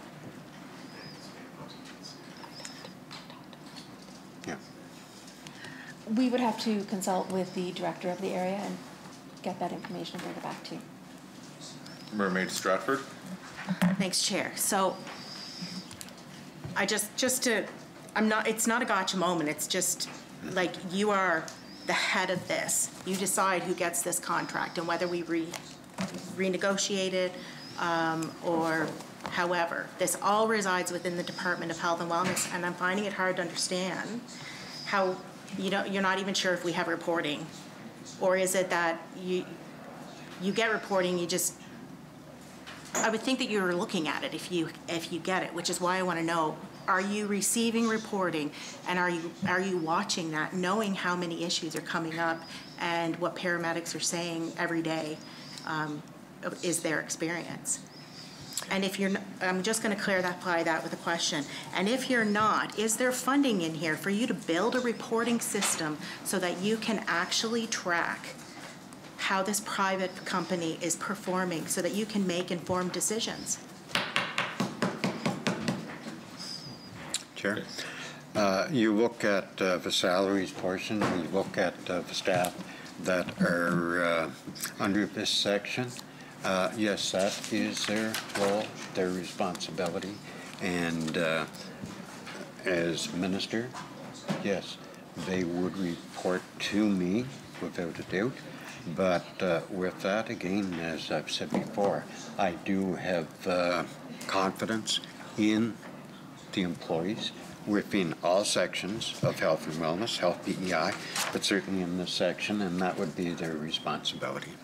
In all fairness, uh, members, I'm going to give you one more question now, and then I'm going to move on to a few others on the list, but I will come back to you if you choose. Yeah, I appreciate that. So Mermaid Stratford. Okay. And just to make a point, it's not that I don't have confidence. If the, inf- if the reporting's not happening, the reporting's not happening, and we just need to admit that there's no reporting and you're not getting accurate, up-to-date information so that you can make informed decisions on whether a contract should be renewed or not. So, um, do we know how many off-island transfers, because we pay, the province pays for the off-island transfers. Do you know how many off-island transfers are done on a weekly basis? That, uh, we will bring that information back, but uh, I would like to quantify that, that that is going to vary week to week. I didn't hear. Sorry, I have to, I'm gonna find headphones. I Now, if you hear. like, I can shout a little louder. Well, no, that's all right. I mean, the minister, we know that you're uh, kind of a soft-spoken gentleman, and we don't want you to strain your voice because I think you're going to be here for a while. Um, however, all members are supplied with headphones in their desks, so if they if they are having difficulty hearing, I would ask that you please put them on. So, um, O'Leary Inverness. Questions here is, uh, and it goes back to the issue of reporting that the member from uh, Mermaid Stratford talked about. And I brought up in the legislature that there was, you know, a number of quarters that there was no reporting. So, so I'm going with the assumption that, the- that it's Island EMS that reports to your department, it's your department that posts it on the website, or is it uh, directly posted by Island EMS?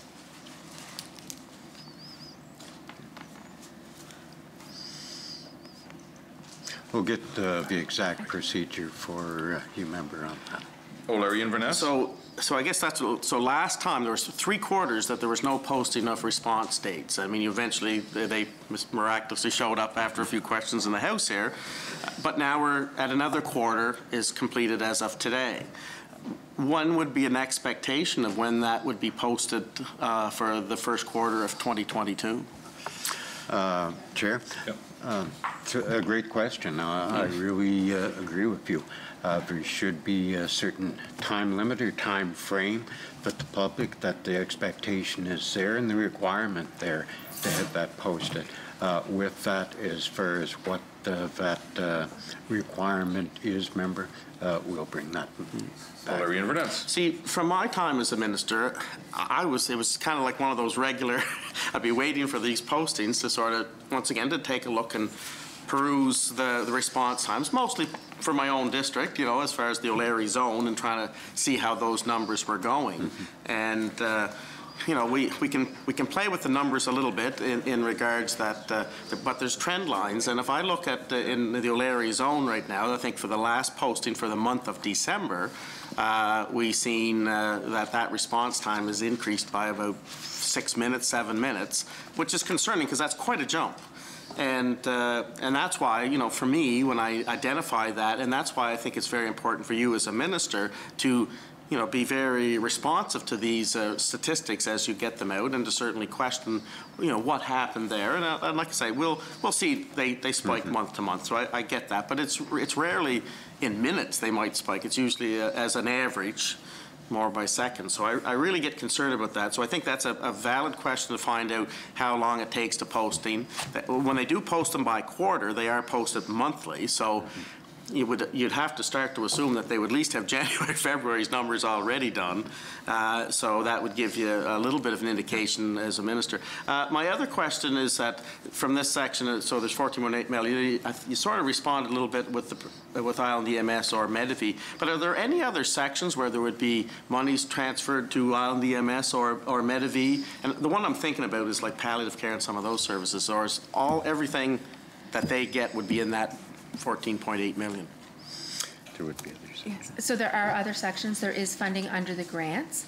And in the grants area, that would be where our out-of-province travel is paid to them, as well as, uh, sorry. Out-of-province transport. um, As well as funding for the, uh, the radio, the PIX radio system, and um, different types of, sorry, I'm gonna get the actual, of, um, to make sure that they have their response, uh, their CPR training and the proper technology and such. O'Leary Inverness. So that's more for like staff training of the paramedics Yes. themselves and things Mhm. like that. So when you say in the, the radio systems, uh, so is that more what we're talking about for the 911 system that they have in place? To ensure that they have the same, the paramedics and the, the uh, dispatch has the same system as the, the 911 system uses. O'Leary Inverness. Is that a one-time expense or No, that's the annual cost. an annual cost? Okay, I'll eventually want to know those numbers as we get into those sections, if you don't mind. But, uh, and, uh, and then the other one, you say out of province, so is- are we, are we talking staff that are training or are we actually? No once they ground hit- ambulance. So when we- once they hit the bridge to, uh, to their location, wherever that may be, there- there's an additional fee that goes? That's correct. Okay, okay. O'Leary Inverness. Uh, No, I guess that's probably it for now. I'll let some others uh, weigh in on the discussion. Charlottetown West Royalty. Thank you, Chair. Um, What is, is support for the mobile mental health units in this Medavie contract in this section? No, it's under mental health and addictions. Charlottetown West Royalty. So, so it's a totally different contract? It is a separate contract, yes. Charlottetown West Royalty. And would, supports for the PCH with, with um, paramedics, is that in this area? That's within Health PEI. Charlottetown West Royalty. Um, Is supports for the COVID swabbing in this section? Health PEI. Charlottetown West Royalty. Um, What, what is Health PEI doing um, to help the EMTs out and not have um, offload delays? Is there anything that, that you're doing, Minister, or how are you, how are you addressing that? I know they are working on something, but I don't know exactly what, so we can bring that back. Charlottetown West Royalty. Okay, and this is, a this is a pretty big contract. Um, It's hard because like the contract is PC in different places, but um, we're, I think, I think we're trying to help you out here to, to try to, to try to figure out how, how- have we, Minister, in your opinion, has the department stressed or stressed, stretched um, our ambulance service providers by, by getting them in too many different contracts? I don't uh, feel so, and uh, this is uh, my, certainly my opinion, member, as uh, minister. Uh, You look over the last time period, uh, the impact that uh, the sickness that COVID has had with regard to our paramedics. Uh, We've seen it right across uh, every sector, uh, every business that it has impacted. Uh, They, our paramedics, as I've said before, uh, do fantastic work. They are great partners. Uh, You look at mobile response, again, a great initiative and a great partnership there. Charlottetown West Royalty. Okay, I'll just move on to, uh, um, so, so in this section, you have uh, s- salaries. Uh, I see there's a jump of about, um, uh, you know, 100,000 for next year. What's that budgeting amount? We actually uh, had quite a few vacancies during the year, and we knew that going into last year, so we had some people uh, budgeted in 21, 22 for part years, but we're actually back up to full complement, so it's a full year salary. Charlottetown West Royalty. Oh, so that's one full year salary? Um, Actually, it's two people for part years. Charlottetown West Partners? Royalty. Part years? Oh, part years, okay. Um, Is your organ and tissue donation director um, there in the department? Is there somebody in that position? Yes. Charlottetown West Royalty. You're referring to the individual that we had met with uh, there a number of months ago, uh, honorable member? Yes. Yeah. Uh, I would have to check unless uh, Karen knows right off just what section that that salary. She is in be this out of. section. It is, okay. Mm -hmm. Charlottetown West Royalty. So is she there in that job? Yes. Okay. D- Yeah? Charlottetown West Royalty. All right. They've said yes three times. I thought I got, I got, thought I got conflicting information before. Um, So we talked about this before, organ and tissue donation minister. Um, You know, there, there is some, there, uh, you see a consultation amount in, in the big budget book. Um, What is that funding for?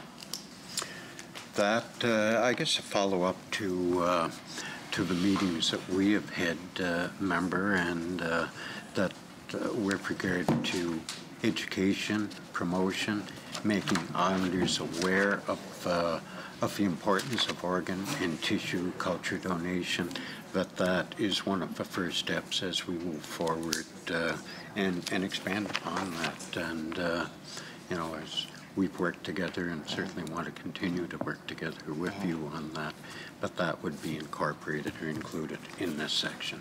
Charlottetown West Royalty. And, and we've, we've had a conversation, we've had meetings about this, it's important to me, and I know it's important to, to you, Minister. Um, we might have differed on the way we're gonna get, get there. I mean, this time last year, I, I asked you on the floor, were you supportive of, you know, uh, a different, different way of doing things, and since then, we've been working on it. Where is the department right now? I think that we're a little bit behind from where I thought we would be right now. Can you give me an update on what our province is doing to promote organ and tissue donation and when, when we can see legislation come forward? Oh, again, I'd have to go back, uh, Chair, to the answer to my previous question. It's uh, the promotion aspect of it, uh, the uh, awareness campaign to Islanders. Uh, I could see uh, the look on uh, the member's face when he had asked about the individual that uh, that is in the department. Uh, and uh, Karen, correct me if I'm wrong. I believe that she was at CPHO for a certain time period. That certainly had an impact, without a doubt. But I agree, both yourself, myself, and obviously from the meetings that we had with the employee, uh, is, she is extremely passionate about this. Charlottetown West Royalty. Exactly. So she was out of that role for just a little bit, um, and and hopefully she's back. And I mean, there, there's some there's some key elements that that we've worked on because I want to see this move forward in the province. So I mean, um, I'm I'm looking at um, that number over here for 20. 2022, 2023, $34,400. Can, can I get a breakdown of what that's going to be used for? And, and I need a promise that we'll meet very soon about, to continue on our discussions. Okay. And just for very uh, rapid follow-up on that, uh, I can't recall the date of the letter, but I had forwarded you a letter, uh, honorable member, I don't know, it'd be maybe a month and a half, two ago, that outlined some of that information, but we'll certainly bring back uh, uh, uh, the details uh, that you have asked for. Charlottetown West Royalty, I'll give you one more question, and I can put you back on the list if you wish. That's good. That's good for right now. Thank you, Chair. Mermaid Stratford. Great, thank you, Chair. Um, so I'm going to just ask a question for potentially tomorrow, because we're obviously going to be crossing different areas in which um, Medavie or Island EMS funding is going to be discussed. Would you be able to come back with a summary of all of the different um, payments in, in the budget of how we, uh, how we allocate those funds? And uh, so that we can get a single picture of just how much is allocated? Health and Wellness and Health PEI? That would be wonderful, yeah, because I'll be asking in Health and Wellness, so we might, or Health PEI, so we might as well do it now. Mermaid Stratford. That would be great, I appreciate that. Um, So is there any allocation um, within this to do consultation on the current contract with Island EMS in this upcoming year? Because I guess, I'm assuming there is no negotiation that's going to happen. The contract's going to go signed as of today. This New year contract starts tomorrow. But do you have consultation funding in here in order to do a full review of that contract? There's no additional funds for consultation. However, if consultations are needed, we will find the funds from within. Mermaid Stratford. Thank you, Chair. And I would think my, that when I, s- when I ask about consultation, I'm, I, I think public needs to be involved in this because it's a, it's, I mean, it is life and death for Islanders, right? They should be involved in their care and what the level of services that they expect. So if, um, like, when we get that opportunity to have that discussion, Minister, I would really like to have a fulsome discussion as to what that contract negotiation should look like and how paramedics, students, Islanders, and everybody can be part of it. I think that's fair. Um, Mermaid Stratford. Thank you, Chair. And then just one final question. Uh, You said that you're going to bring back the number of ground transports, or, sorry, off-island transports, correct? Okay. And um, let me just go to the grant section for a second here. And you said that the, the education bursaries, is that for Island EMS that's under the grant section? Or um, is, are those um, education bursaries for something else? They're education bursaries to go to students who are at the uh, program at Holland College. Mermaid Stratford. Ah, and how many students do we fund to go to the program at Holland College? Uh, We'll get the exact number, but uh, number, uh, my understanding is that in the class that is to graduate uh, this coming uh, April, that there is 18 in that class. But again, we'll get the exact numbers for you, member. Mermaid Stratford. Thanks, Chair. And, and, it- I mean, it's only twenty-four thousand dollars, but I mean, I know that we have one of the best programs and like, I know it's second to none, absolutely. Absolutely. And, um, and people travel here from all over in order to attend it because Holland College does have such a phenomenal program. And, I mean, the people that we graduate from that program are first class and, I mean, when you speak to them, you know the passion of, you know, wanting to uh, remain in this profession. And so what I'm wondering is, like, in order, do you have educational, and it might have been under, under the ministers, but, and I feel like this is where it gets difficult because Medavie is a private company. And so if, if it was under Health PEI, you could actually say, here's um, a return to service bonus if you take, if you sign on with us. Like, do you have that ability with it being under a private company to do a return to service initiative? Or is it really up to the private company to do it themselves? That, uh, Chair, is, uh, is a very interesting question. Uh, I think that it is uh, something that regardless of whether Medavie would do this or not, it's something that uh, the province certainly could look at, at various options uh, when you say return for service. But uh, no, I appreciate you bringing that forward, and it's something that, uh, that we can certainly look into as a department. Mermaid Stratford? Thanks, Chair, because one of the challenges is when you speak to paramedics themselves and they talk about the tenure of their colleagues and their colleagues leave, you know, without being, they want to retire in the profession, but it's just not feasible for them. Anyway, and I mean, there's a lot of things that we can do with our public healthcare system that makes it super challenging when we source it out to a private company, right?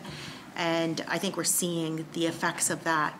And uh, anyway, I would just be interested in what you end up hearing from the paramedics. I understand you're talking to students, but there's a wide array of paramedics out there that have a whole lot to say.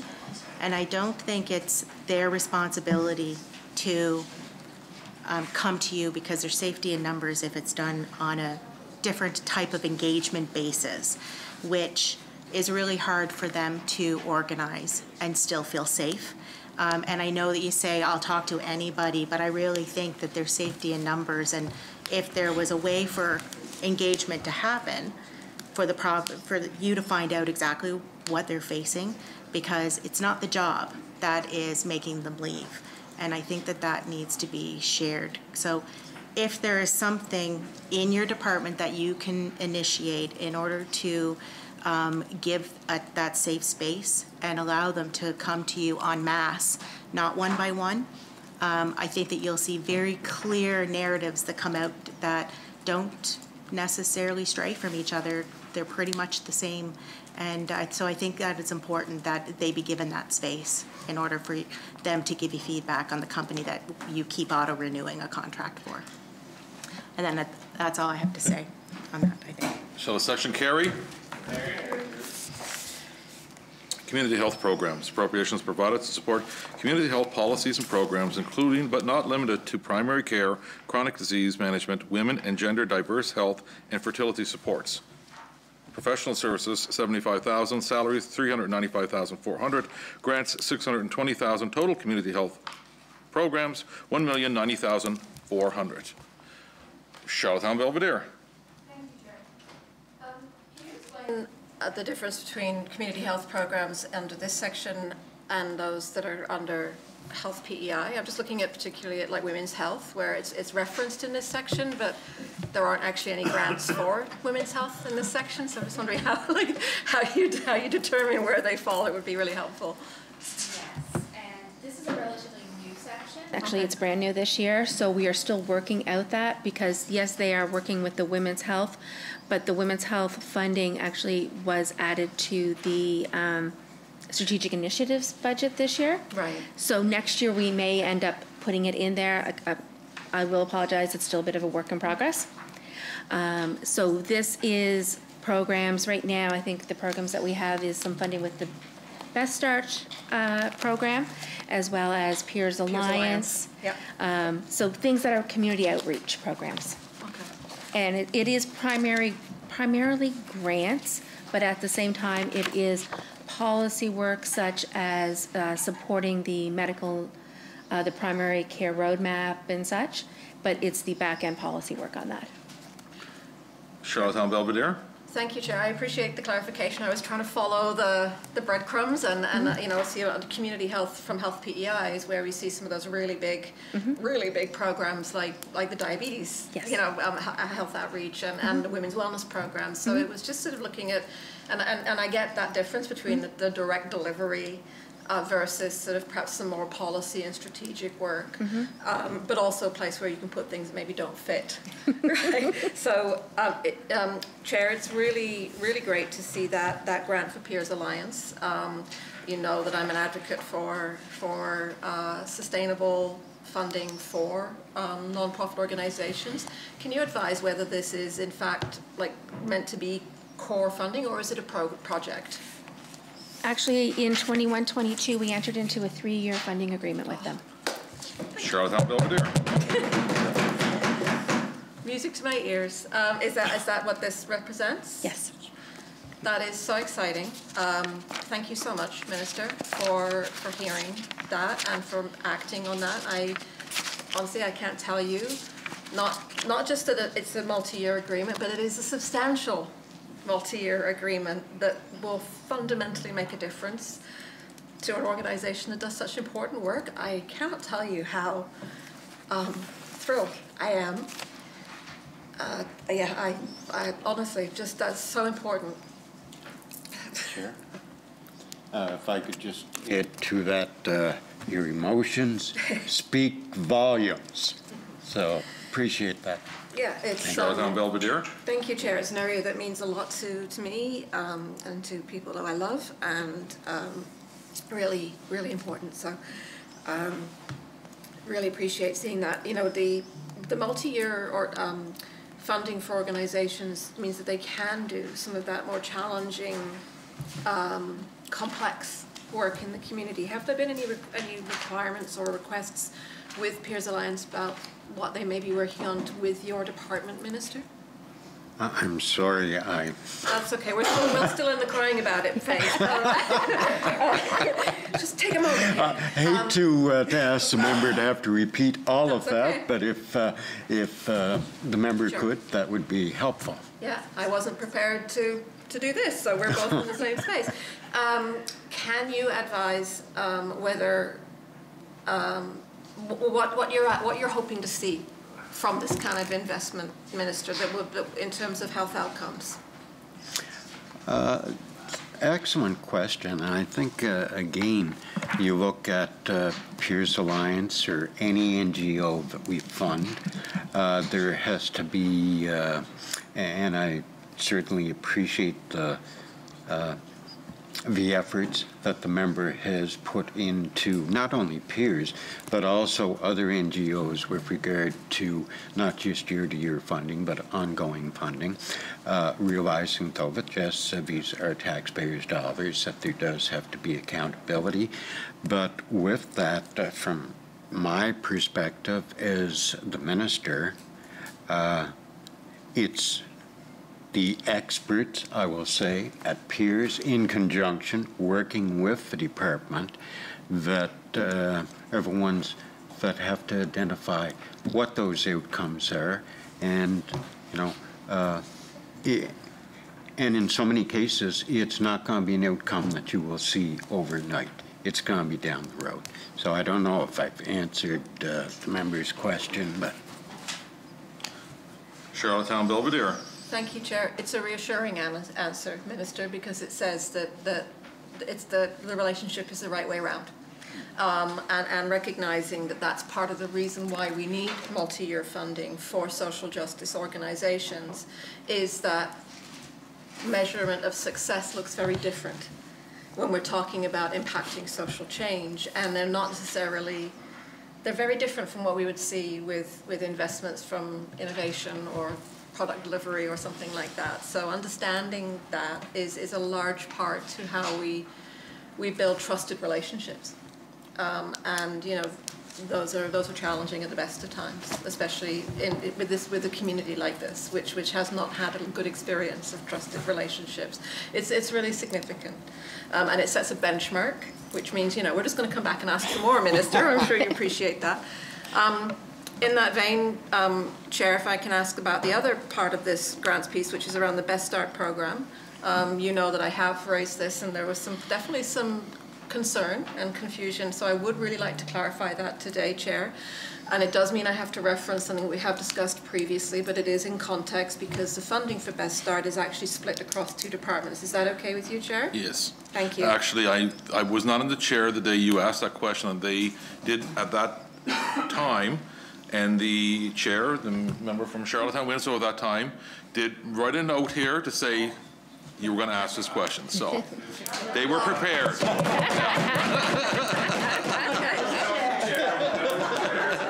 So, there are no excuses for not No, being prepared. They're well prepared. Thank you.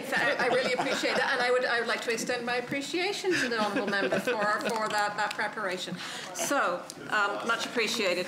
And, and obviously, the reason for this, the reason for me asking that, because I want to achieve, you know, what we want to do, and we're asking questions in this house, is we're doing our due diligence. We're, we're working on behalf of the files that matter. These are not just numbers. This is about real people delivering real services with taxpayers' money, and it is our job to ask the questions that they bring to us or that our constituents bring to us, and that's what I am very pleased to be able to do. So the context, Minister, um, is that in the education line under uh, the early childhood development, there is 1.22 million that is an- a line item allocated for the Best Start um, workers' salaries. However, the actual administration of the Best Start program and the negotiation was, we were advised, moved to health. And in this section, there are two line items for two um, program pieces. So salaries have remained at this point, but the responsibility has not.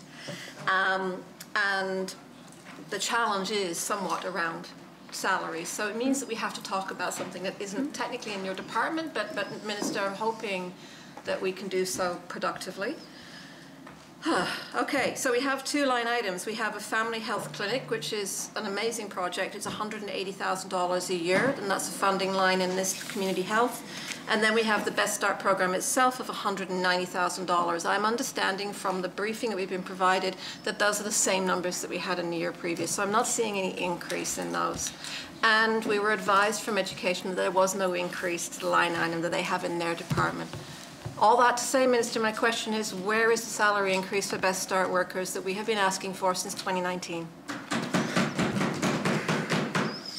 Uh, First of all, unless I am reading the booklet uh, wrong, uh, uh, that there actually is under the Family Health Clinic an increase in budget this year of 40,000. Am I correct on that, Karen? Yes, and there may have been a mistake in the handout that went out that the $40,000 increase may have gone to, shown as it was the, the uh, Best Start workers. It was actually a $40,000 over budget to the Family Health Clinic. Okay, thank you. So it's 120 and 150. Sorry, could you repeat? Sorry, it's 120 for the clinic and 150 for uh, Best Start. Okay. So the Best. Start number has uh, not changed since, the since the previous budget, but the clinic did get some additional funding. Okay. So if we could focus on the Best Start Mm-hmm. workers, the piece, so, so I guess that the, the crux there, and I think we kind of. Yes, uh, are. Okay, great. So funding was added. To Health and Wellness's budget to help with the increases in the salaries back in uh, twen- 19, 20? Yeah. Of $150,000, but you are correct, that has not changed. Right. And we do not have additional funds in our budget right now. Um, However, we are willing to start the discussions with them, and I believe that we've actually already had some discussions about um, economic increases and other increases. And so hope, we are hoping that when we do do the uh, contract for the 22-23 year, that there will be something in there. I am aware that there is no additional funding for that, but if funding is uh, needed, we will hopefully be able to fund it from within, or we'll come back to the House looking for a supplemental appropriation. Charlottetown Belvedere. Thank you. I, I appreciate that clarity.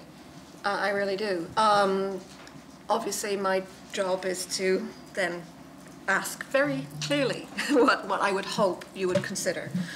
Um, I am actually hopeful that that salary line will, will move over to health too. Right? If we recognize this is a health program.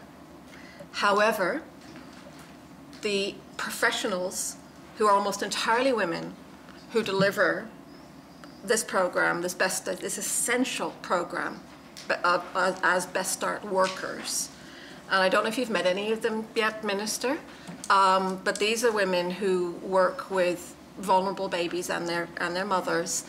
Um, up to 50% of children in the province who are born every year are referred to the Best Start program. So vulnerable can look like a lot of different things. And I'm going to tell you, Minister, I and my daughter were in the Best Start program because I was a single parent with no support network and Best Start was the was the reason that my I and my daughter had a solid foundation um, as with me as a completely clueless new parent and with a preemie daughter who had failure to thrive. It was my Best Start worker that identified that when no other no other person did. She saved our lives, and I have a very very um, obviously personal reason. But then I then served on the board of Chances for four years because I believed so much in the work that they did. They and they do. And I can tell you from my first-hand experience and as a professional and as a woman and as a mother and as somebody who knows how important that early intervention is in our community, that this program literally saves lives. And Minister, with all of that in mind, even if I had had nothing ever to do with this program, I would still fight for it. Because this is a perfect example of how such a small investment is solving a problem that nobody would see unless it wasn't there. And then we would absolutely know about how this would impact us. You know, we have more studies than we could ever need about the power of intervention at that earliest age, at those most critical years. And that's what Best Start does. It's zero to three and it changes the direction of lives of, of children in this province forever. These women, primarily women who deliver this program, who are these workers, are have been assessed independently as at the equivalent of early childhood educators, but they're not just early childhood educators, they're healthcare workers. So we need to pay them appropriately because what's happening is they're having to leave that industry. They're having to leave those incredible, meaningful jobs because they can't earn a living. If they're only earning 15 bucks an hour to save people's lives, they can't earn a living. And they're leaving to go and work in jobs that are honoring their, what they do and what their qualifications are and paying them five bucks an hour more. And honestly, like, we can't afford to lose those people. We just can't and they love their work and they love their clients and they love what they do. And, Minister, you need to pay them, please. So I'm asking you, from all of that, I'm asking you to honor the commitment that your government made in 2019. I'm asking you to do everything you can. And if you bring a special warrant to this floor, I will stand up and applaud and I will vote with every vote that I can get for it to say, yes, we should pay them. Please. Uh, Chair, certainly appreciate uh, uh, the honourable member's passion uh, as she spoke to this, as uh, her passion was evident when she gave me uh, one of a few accolades I think that she's probably given me, but uh, write, write which down. makes Don't it even makes me appreciate it even we'll, more. We'll hug it out later. We'll hug it out okay. as long as you wear a mask. but uh, no, uh, I do appreciate uh, where the member is coming from, and uh, uh, certainly, uh, you know, we could have a lengthy discussion here today, which may not be conducive to the overall budget process. Uh, with that uh, member, I would be more than happy to have uh, a discussion and also to meet with uh, some of, uh, of the workers. So I'll put that Thank you. Charlotte I'm Belvedere. Thank you. And that's all I ask. You know, I understand. You know, I, am not in a position to get you to, but I am in a position to ask you to listen. Um, and I know that you will, because you just said so. Um, so, so perhaps, yes, well, if we will leave it there. Um, and and um, Minister, I would be very happy to continue this conversation off the floor and to continue to advocate for, you know, as I have done for many other things. Um, as you know, I don't give up, I don't go away, I don't stop asking, and this is one I will continue to be in your ear about this um, because, because this is the right thing to do. So thank you for your time on this, Chair. Thank you very much for your indulgence of allowing us to kind of work through that one, and I look forward to continuing the conversation. Thank you, Minister. Charlottetown Victoria Park. Chair. Um, just looking at the, the $200,000 overspend in salaries, and I'm just wondering um, what those positions were and if, if they were any new programs.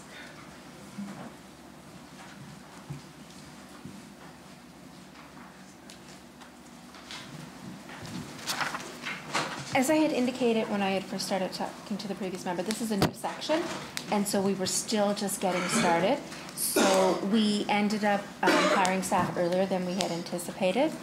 So these, the new salaries were primarily for the primary care roadmap support and to be able to assist with those areas. Charlottetown Victoria Park. Thank you, Chair. And so um, there's a, a $50,000 uh, overspend on grants. Would that be kind of the same, the same thing for last year? Yes, so what that is, is actually forty thousand dollars of that fifty thousand was to, um, the, uh, Chances, um, Family Clinic. Um, their expenditures were more than what we had originally budgeted for, so we had uh, increased their spending appropriately. And then the other was for another grant for, I believe, physio program, rural physiotherapy. Charlottetown Victoria Park. Thank you, Chair. Thank you for that. Um, And, uh, and- and thank you, I'm going to just kind of echo what um, the member from Charlottetown Belvedere talked about. Those, those programs, those two programs are so important. So I, I appreciate, you know, allowing that, understanding that costs are going to go over, and so kind of being flexible there, and I, I hope that that is something that you always practice with them, um, with anyone really. Um, and so there's, so this is a line for um, women and gender diverse health. And so I'm just wondering, there's the grant for Peers Alliance for $250,000. And I'm just wondering if that is, if, if there's any other programs where we might see the, the clinic? Because it was a beginning and it was still a strategic initiative at the time that we prepared the buzz- budget, the funding for the Women and Diverse Islander strategy and uh, the first year work with that is actually in the strategic initiatives budget at this point in time. And uh, most likely, as we move on with that, it will end up uh, being in this area. Charlottetown Victoria Park. Thank you, Chair. And so that, all of the questions that we may have relating to the Women and Gender Diverse Islanders Health Strategy would be in that section? And the strategy has not yet been released, so. Do we have any idea when that will be? I know that's not in this section, but since, since Chair? Charlottetown, Uh, sorry, yes? Certainly uh, a great question. Uh, My understanding, and I have posed that uh, as well, Charlottetown Victoria Park, uh, uh, it will be later this spring, is what I have been assured. Charlottetown Victoria Park. Thank you, Chair. I really look forward to, to that. Um, I'm okay for now. Thank you, Shall the Chair. section carry? Total community health and policy, thirty-four million, three hundred and seventy-eight thousand. Shall it carry? health workforce planning and pharmacy, health recruitment and retention, appropriations provided for recruitment and, and retention strategies for physicians, nurses, and other healthcare professionals, administration 53,800, equipment 5,000, material supplies and services 52,500, professional services 289,500, salary 728,700, travel and training 8,800, grants 2,781,500, total health recruitment and retention 3,919,800. O'Leary Inverness? Grants, I'm assuming that 2.7 uh, million there, is, is that uh, money a grant to the PEI Medical Society for the, for their, their efforts in recruiting and retention? There would be uh, a number of different uh, recipients to those grants. uh, uh, Okay, uh, so- And like I say, a number of uh, different ones. I think it might be, uh, if uh, we could bring back the exact information. I could take a number of minutes here and get through them, but uh, it's, Yeah. Actually, if you go to page six of our handouts in the big book, okay. it indicates what most of it was used for. Okay, yeah. And it will say various, and the reason why is because it was to individual people. Right. So it breaks down between physician visits that we're paying for physicians to come. Okay. uh, A relocation allowance, return and service agreements, incentive programs, healthcare futures, Bachelor of Nursing, family medicine sponsorship, paramedicine program, um, more return and service agreements, uh, contribution to the School of Nursing. So that's what that funding's for, and it's outlined in the W6. Oh, Larry, Inver- oh, sorry, Minister? Uh, Just, just uh, reiterate, healthcare futures is there. Good, that- that's good to know too, that's in the grant section. Oh, Larry Inverness? So under salaries then, so how many people do you have under uh, the recruiting and retention section? 728,000, because that's quite an increase from last year and what was estimated, so. So is that, uh, and who's, who's in that? Eight, eight positions. Eight positions? FTEs. Larry Inverness? And is there, who's kind of the head of that section now? I remember it was Sheila McLean in my time, but just to. Yeah, Rebecca Gill. Oh, Larry Inverness? Rebecca Gill. Okay. And are you feeling that you're getting good value for your money there in that, as far as, uh, like I say, as we see numbers seem to be a lot of vacancies and we're not catching up? I mean, what, what's your thoughts as a minister on that? Uh, I feel that uh, the workers, the employees in this section do a fantastic job. I know some of, and under difficult circumstances. And when I say that, uh, I mean in particular, just with regard to uh, uh, the pandemic, the limitations that that has put on travel and face-to-face meetings and the like. And uh, yes, uh, I think that uh, they have done a fantastic job. Uh, you look at uh, the number of nursing students, for example, that were brought in last year, and you know we've had the discussion uh, outside the rail uh, uh, member of uh, just the importance of recruitment, but also retention. But I'll leave it at that. Just they do a, c- a- Yeah. a top-notch job. Oh, Larry Inverness? No, I, I, I'm not arguing that the- they're not uh, making every effort to try to do their very best, but, but it just seems like the numbers keep getting bigger and bigger. Like I like I say, I remember in my time, it was like 20 nurses we were trying to recruit for. Now, I think the last Monday was 131 on the external list there. So, uh, you know, so maybe you could shed some light on their, their strategy. Are they looking after, going after maybe Alberta? Because there was some time there that Alberta was going to shed some nurses out of its system. Uh, Is that where we're heading? Is there, or are we going to other countries? If, do you have any indication of what the strategy is as a department to uh, try to recruit and fill for, for a multitude of health professional vacancies? Well, certainly a part of that uh, is under uh, grants. You look at the incentives that uh, have been put in place that have been uh, uh, increased uh, over the last three-year period, whether it's for uh, RN graduates, for whether it's for nurse practitioners, you know, across the board. And as as the member fully realizes from his time in the chair, that uh, we're not the only jurisdiction that is having these challenges. We are, to a certain extent, in competition. But uh, uh, when you say with regard to the strategy, uh, there's certainly a number of initiatives there. Uh, but, uh, Honorable Member, I would be happy to go back to Rebecca and get, you know, exactly what initiatives that, uh, you know, I could sit here for 15, 20 minutes, and I don't know if it would be the best use of, of our time, to be honest. I think Rebecca, being the one that works in it day in and day out, will certainly go back and bring that back, member. Oh, Larry Inverness? See, from my perspective is, is that once again, as I look at the numbers, and I do watch them quite closely, and as, as I'm sure you do too, once again, we still, we seem to continue to see these numbers, you know, more vacancies, uh, more Islanders without a family doctor. I, I would be happy to see if, if it meant that a, another million dollars into this budget made a, made a difference or uh, would uh, recruit a few more or another staff recruiter would make a difference, I would be wholeheartedly supportive of indicating uh, that.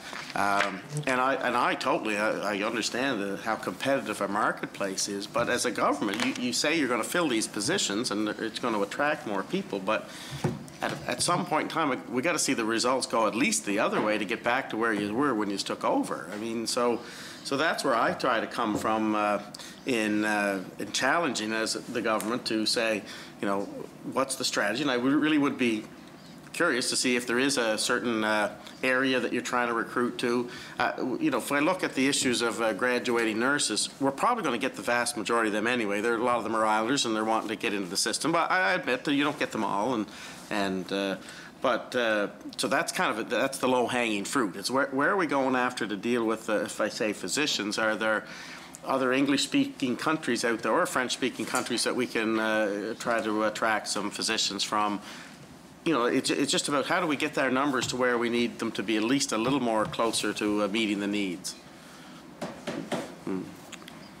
Um, One of the new positions, actually, that is not yet filled, but will be filled as soon as the budget is approved, is actually of an internationally educated nurses navigator to help uh, recruit internationally educated nurses. Okay, no, that, and that, that's, Inverness? and that, that sounds like that would be an initiative that could pay some dividends too. Because once again, you're right in saying it's a pretty competitive marketplace. And now, one of the challenges we always have with interna- any internationally trained is that to get their licenses approved, and that becomes another whole challenge because you as a minister, you can't take a license and you can't uh, grant a license, you know, as I've, I've known in my time.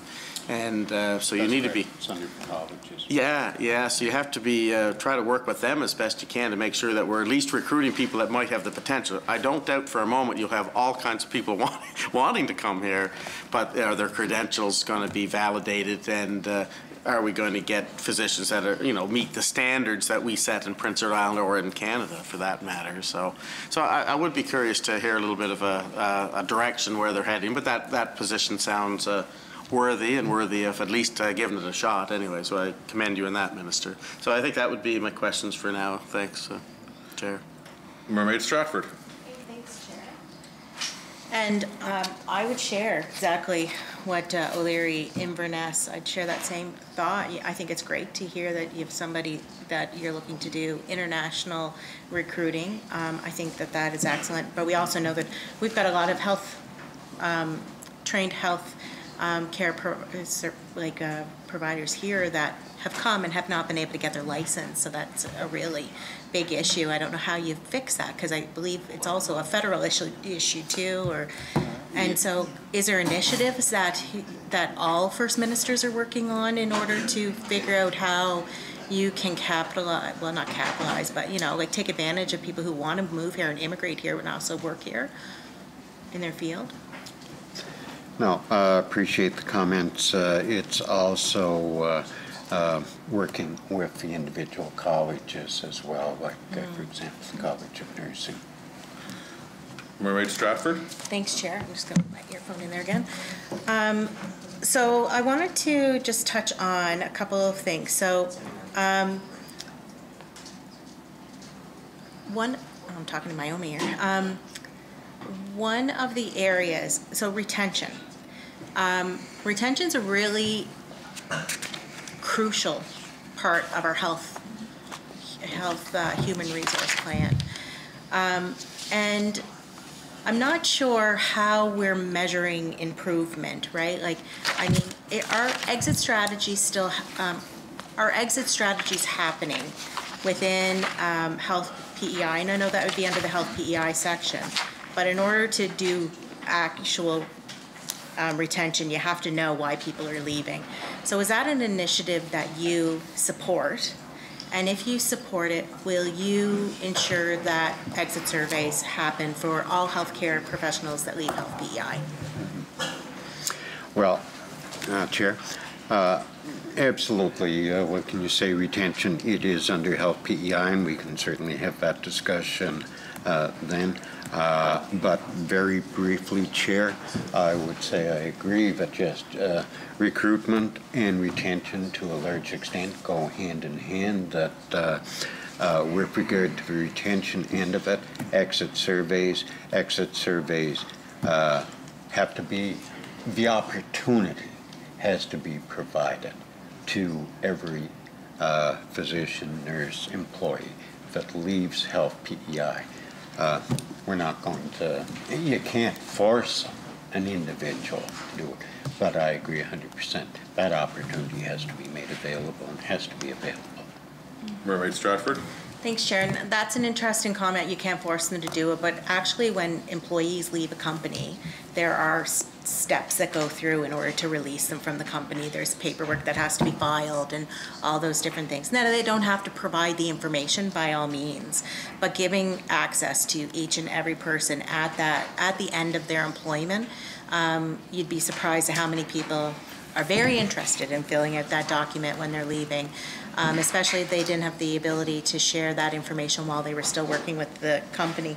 And I have to say, like, we learned a lot through the, um, the Garth Waite report. And so I'd asked about a human resource strategy out of the department. Do you have an actual resource, human resource strategy that you can table? We're actually working on one, and it's actually covered off in the next section. Mermaid Stratford? Okay. So f- for the, um, for the return in service, so we spent three hundred and ninety-seven thousand, three hundred and thirty-three dollars last year, or forecast for 2020, 21, 22. And we're forecasting four hundred thousand this year. So is that the same number of people that, like, is there a cap on that program as to how many people that you'll accept into that return for service section? No. No, and if we need to, we will move not. money around. You, there has to be a budget uh, line on their uh, member, and I do appreciate where you're coming from, but uh, no, if uh, we have vacancies and we hit that and see if we're going to exceed it, uh, I'll assure that the dollars will be made available. Mermaid Stratford? Okay, thanks. And so, um, that is to bring in experienced RN, um, registered nurses and nurse practitioners. Does it also cover off RCWs and LPNs? Are they eligible for return to service? Not to the best of my knowledge. Not to the best of my knowledge, no. It's only RNs. Okay, Charlotte, I'm sorry, Mermaid Stratford? it's okay. Potentially something that we can look at, given the shortages straight across the board. Um, I, I'm interested in, you might tell me it's in the next section or where it goes. I truthfully don't know where it goes. But I'm interested in our residency program. So we have five spaces. And Dr. O'Connor had a really interesting guest opinion piece in the paper around our residency program and highlighted even if we have um, a school of medicine, we still only have five residency spots. And we have twice as many, um, twice as many people apply for those spots than what we can actually accept. So is there a plan for the department to increase residency spaces? I don't remember, that's, that'll come up in Health PEI. Oh, it is, okay. Yeah.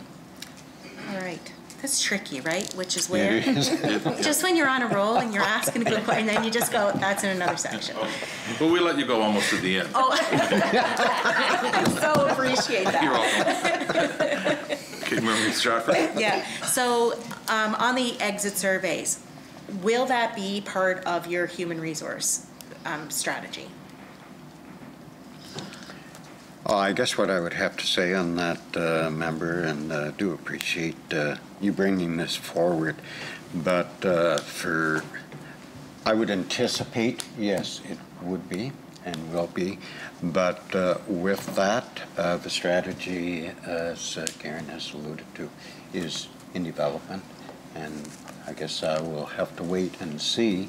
I shouldn't say I guess, I will wait and see what, uh, when I see the draft of that, and provide my feedback and comments, but I do appreciate where uh, you're coming from, member, with regard to exit surveys. Mermaid Thank you. Stratford. And just one more question. Do you have a timeline on that strategy?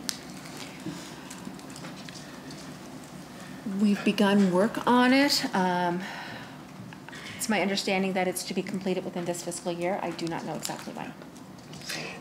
Uh, Chair, if we can get uh, a firmer timeline on that, uh, Yeah. we certainly will and bring it back, member. Thank you. Mermaid One- Stratford? I promise Sure. this is the last one. Um, When was the last time one was done? I could, I don't have that information. We can bring that, uh, It was the Hayes report in 2010, I believe. okay. But we'll get that uh, information and bring it back. okay? Charlottetown West Royalty. Um, so we talk about, just to, to pick up on, on retention, uh, Minister, um, what, I know it says a strategy and we're just talking about it, but what, what are you doing? What are your goals as a minister to retain people, to value employees that work in this field? What is, what are your, what are your, how do you do that? I think there's a number of different uh, aspects, but uh, I would say that, uh, or suggest that being that retention is under health PEI, that uh, it would be more appropriate when we get into the health PEI budget and look at the initiatives that, uh, that are there. Charlottetown West Royalty. Okay, so when we're, when we're talking about, uh, just kind of, I'm confused, like with the health PEI thing, but, you know, you look at it here, it says $500,000 retention initiatives, um, $500,000. What, what's that breakdown for? Like, what are we, Uh, We can bring that, you're speaking, uh, Honorable Member, specifically with regard to the 500,000? Yes. Okay, we'll bring back an exact breakdown on the expenditure on that. Charlottetown West Royalty. well, is there any idea, because we just said we're going to talk about it in health PEI, but there's, there's half a million dollars in here. That's and then we recruitment. get- No, it's not. Oh, it's, okay, my apologies. Oh, sorry. My apologies. Um, And this is, again, gets into the intricacies of them working back and forth. Health PEI is actually developing some retention uh, initiatives. We're working with them, and when they come through, we will actually reimburse them for the initiatives. So it, it- it, the money is kind of, they, because it's their staff, they're working on the initiatives with some input from the department, but we are holding the budget on it, and they will bill us for the initiatives. Charlottetown West Royalty. So then what are the goals of that strategy? The goals of its retention, yes. Charlottetown West Royalty. But there has to be something more, if you're paying, if taxpayers are paying for that, and all we see is five hundred thousand dollars in here, I, I just need more information to see where that, what, what they're gonna do with that money. And that's a fair question, and we will uh, bring back whatever information we can on that member. Charlottetown West Royalty. And the reason why I ask it is because this is the, this is the big game. What I'm hearing, what I'm hearing from people who work in the system is that recruitment is one thing, and then people are saying, oh, all these, all these people are getting recruited with big bonuses. But I've been working in the system for 25 years, and I haven't got anything. And, and now they've worked through COVID, they've, they've come back out of retirement, and, a- and they're, they're lost. Um, They've given, they've given, they've been exhausted, and I just want to know, are we, are we making, like, and we see programs across PEI, like, like the COVID Warrior Pit. And I talked about it with people over there. It's just simple things to say, hey, you know what, you worked hard during the last two years to keep Islanders safe. yeah. And I, I just, I Uh, I think. Yeah, go ahead. Yeah. Uh, No, and I do appreciate where you're coming from, uh, Charlottetown West Royalty. Uh, I hear the very same comments. Uh, What I would have to say is, yes, we can bring back, but there are initiatives that, uh, that I, as minister, am working with Health PEI and also staff within the department. Uh, You mentioned uh, the COVID warrior. Uh, Yes, sometimes uh, it doesn't have to be a mass massive. It's to show that appreciation, uh, but at the same time to look at other things that we can do. I've heard the very same thing, uh, Honourable Member, with regard, and we do have to have recruitment incentives. We have to be, as much as possible, competitive. But I've also heard the same as you have, that uh, I've uh, worked, I've dedicated uh, 10, 15 years of my life, basically, and you have that, that concern. And I hear it as well, so I do appreciate where you're coming from and where those individuals, where those workers are coming from as well. Charlottetown West Royalty? And it's great to have that discussion. It's great to have it because I think it's, it's, it's important. Um, so it, here it says, when we don't talk about it enough, we always talk about doctors and nurses, but I think some of the, we're, we're running, we're, we're the allied health professionals, and I mean, it touches on here, um, other healthcare professionals. And, and I mean, I don't know, I think we should, we should list those out in this document, like to make sure that, that they see their names in here. But what, what are the other, what, what, what are the other professions that you're, you're, you're talking about in here? And what are we doing for, to recruit them and where are our gaps? Mhm. Uh, Excellent question. I'll ask uh, uh, Karen to uh, uh, step in here, but uh, you look at uh, some of the things like the the partnerships that I have talked about previously with regard, for example, Holland College, and the increase in uh, the intakes there with regard to uh, the LPN program, those types of things.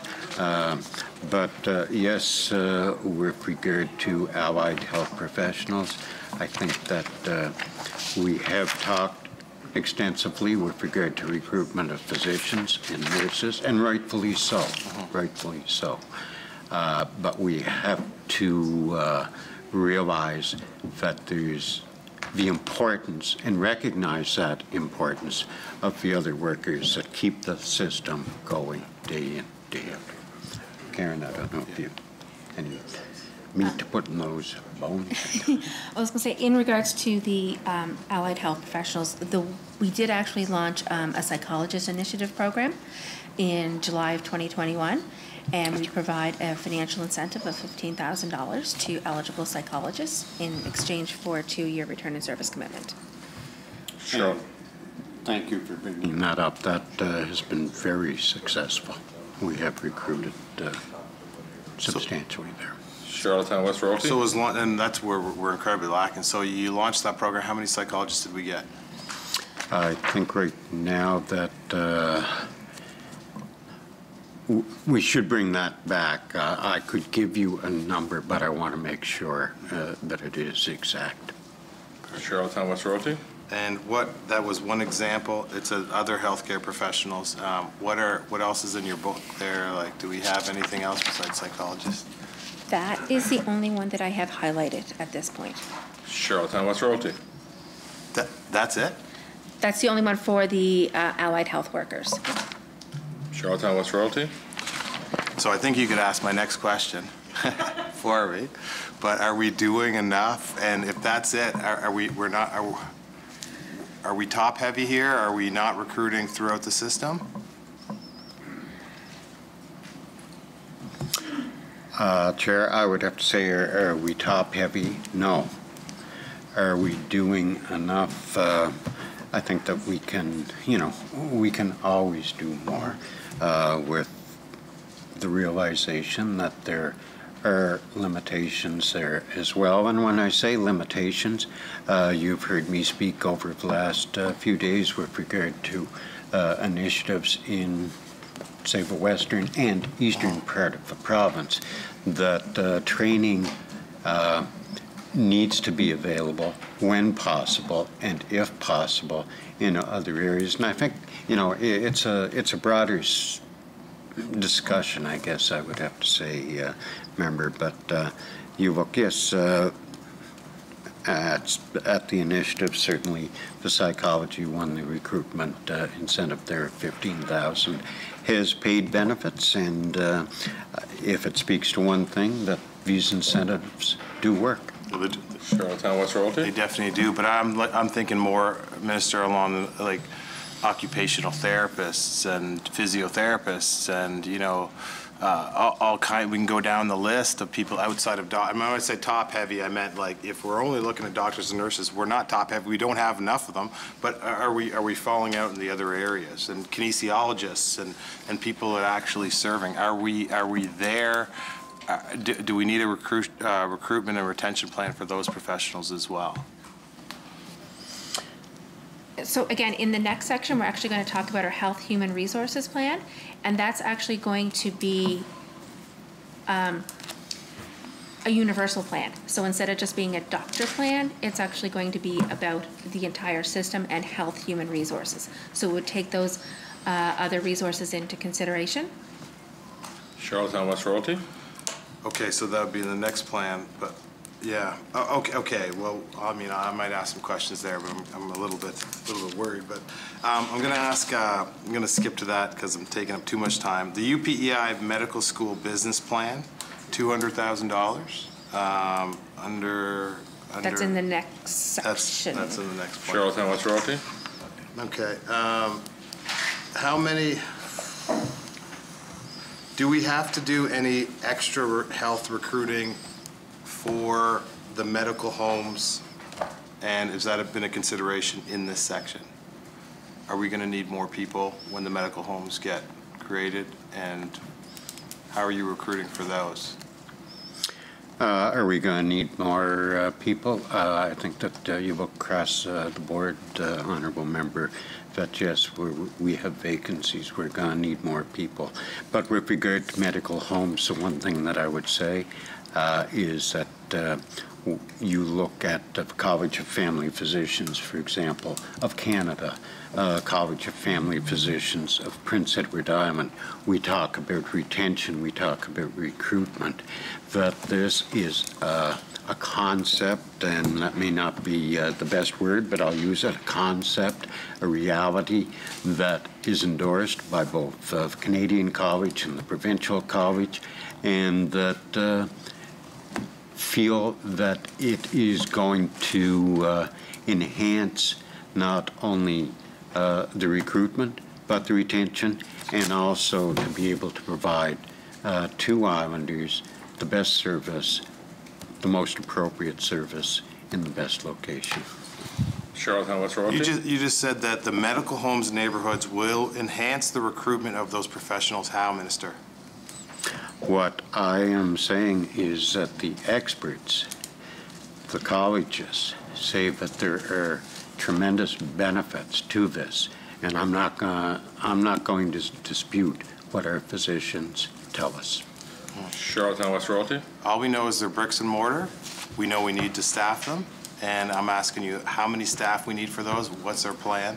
And I, I I don't, are we going to need more? Are we going to need more? Uh, I think that we have to be careful when we talk about, uh, eh, and I'm, I'll be honest, Chair, I'm not sure just exactly how this fits in, but I- I'll expand on it to a certain extent. Um, That uh, we think bricks and mortar, yes, you require bricks and mortar for offices, uh, for patients. But at the end of the day, what is most important is that you have the staff there. Uh, You look at uh, medical homes, it's not to say that, okay, this medical home and this one, and this one, and this one are all going to be the same. And not to say that this one is going to be the same three years down the road as what it is right now.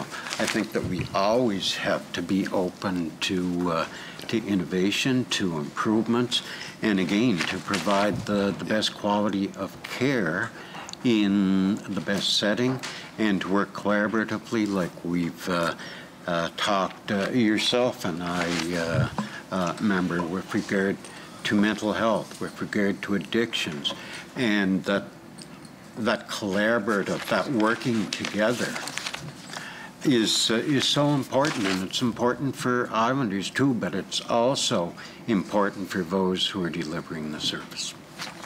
Charlottetown West Royalty? Uh, Well, last question on this. So I guess why I'm asking about this now is because something major changing, wha- wha- whatever that is and whatever this side of this government's decided to do, it's coming. And I'm asking under health, recruitment, and retention, because there's almost $4 million in there, and how much of that pot is going to recruit people for those medical neighborhoods? And I guess that's, that would be my question. How many, uh, to say exactly? I Karen, if we have, or if we have. There's nothing specifically allocated for recruiting to those particular positions. Um, They would be part of our regular recruitment uh, of physicians as well as nurses and other positions. Charlottetown West Royalty. I'll pass the floor. Thanks, Chair. Mermaid Stratford. Thanks, Chair. Um, I just wanted to talk a little bit about the relocation fund. Um, so my understanding is it's paid, uh, it's a relocate, real, sorry, relocation uh, allowance for mostly physicians. Is there any allowance for nurse practitioners, LPNs, RNs? Is there allowances for them if they're coming from off island? Um, I'd have to check on that, I'm not sure. Okay. Mermaid Stratford. It would be great if you could, because, I mean, we know that we're in as much need for um, those positions as we are, you know, for others. And um, the cost to relocate here for the job is, you know, is quite a bit. I've loaded up a U-Haul van before. It's not a, it's not a cheap thing endeavor to do. Um, and, and so I just wanted to point out that if they're not included in that relocation allocation, we probably should look at some sort of program so that we can assist it, it to encourage people to come move here. And then there's one other thing, and I know this, I just want to put this beat like this out there. Another thing with RNs, my understanding is when they come from off island, they don't take their seniority with them. And I, so I don't know how you can, um, like, for instance, I have a constituent who went from Halifax to Saskatchewan, and they counted all of her time as time served.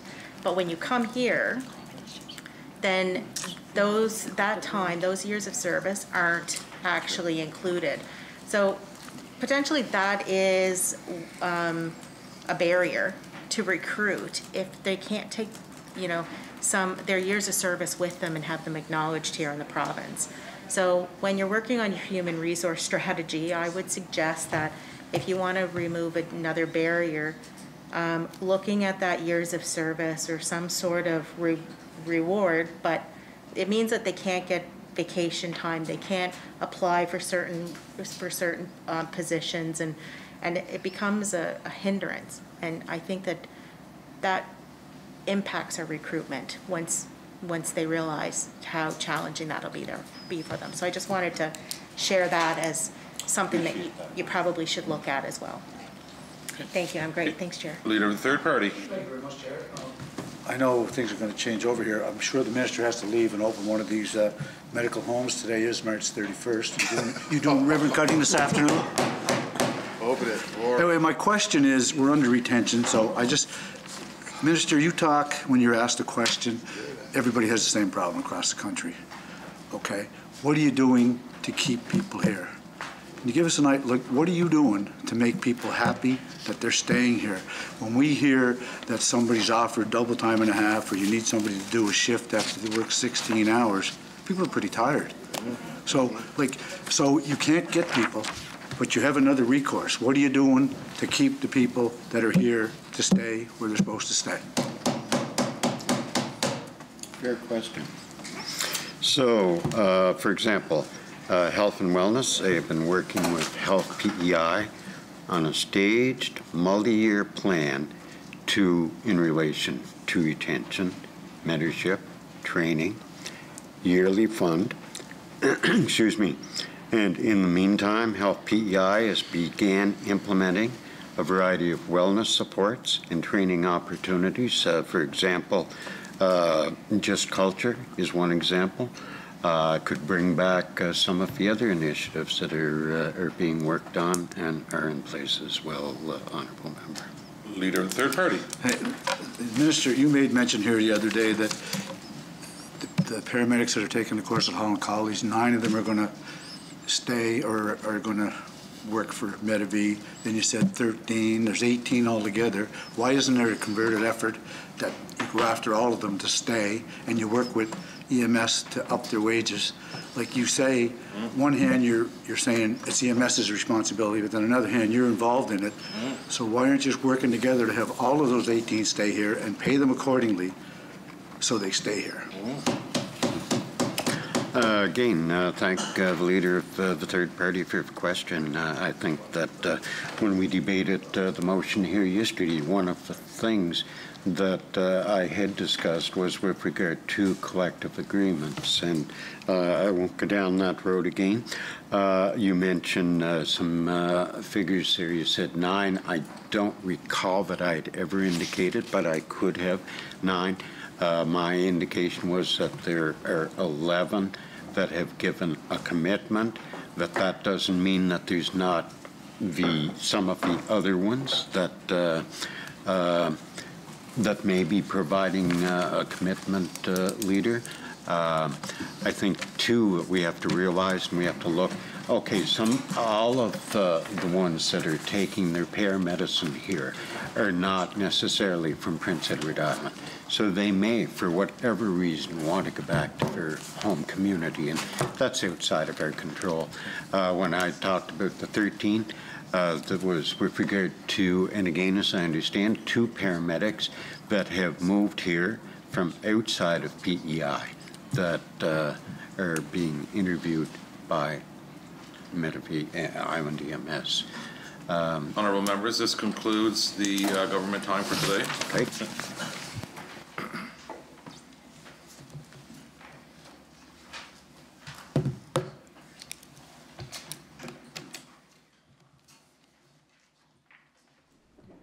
Mr. Chair, I move our speaker take the chair and let the chair report progress. Leave to sit again. Shall carry? Mr.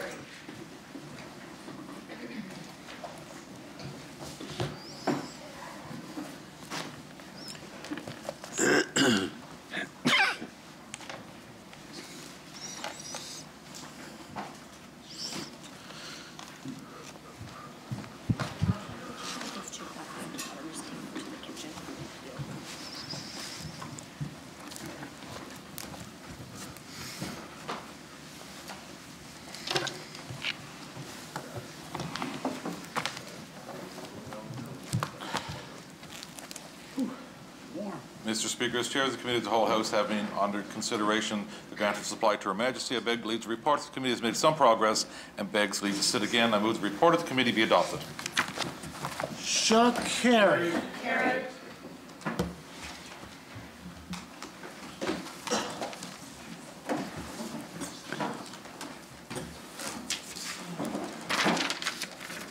The honourable member for Mermaid Stratford, the opposition House Leader.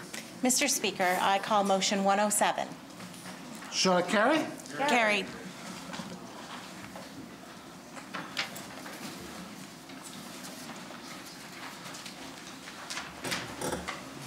Mr. Speaker, motion 107, calling on government to improve and move towards public paramedicine, is currently under debate, and debate was adjourned by the honourable member from Morel, or from Morel-Donagh.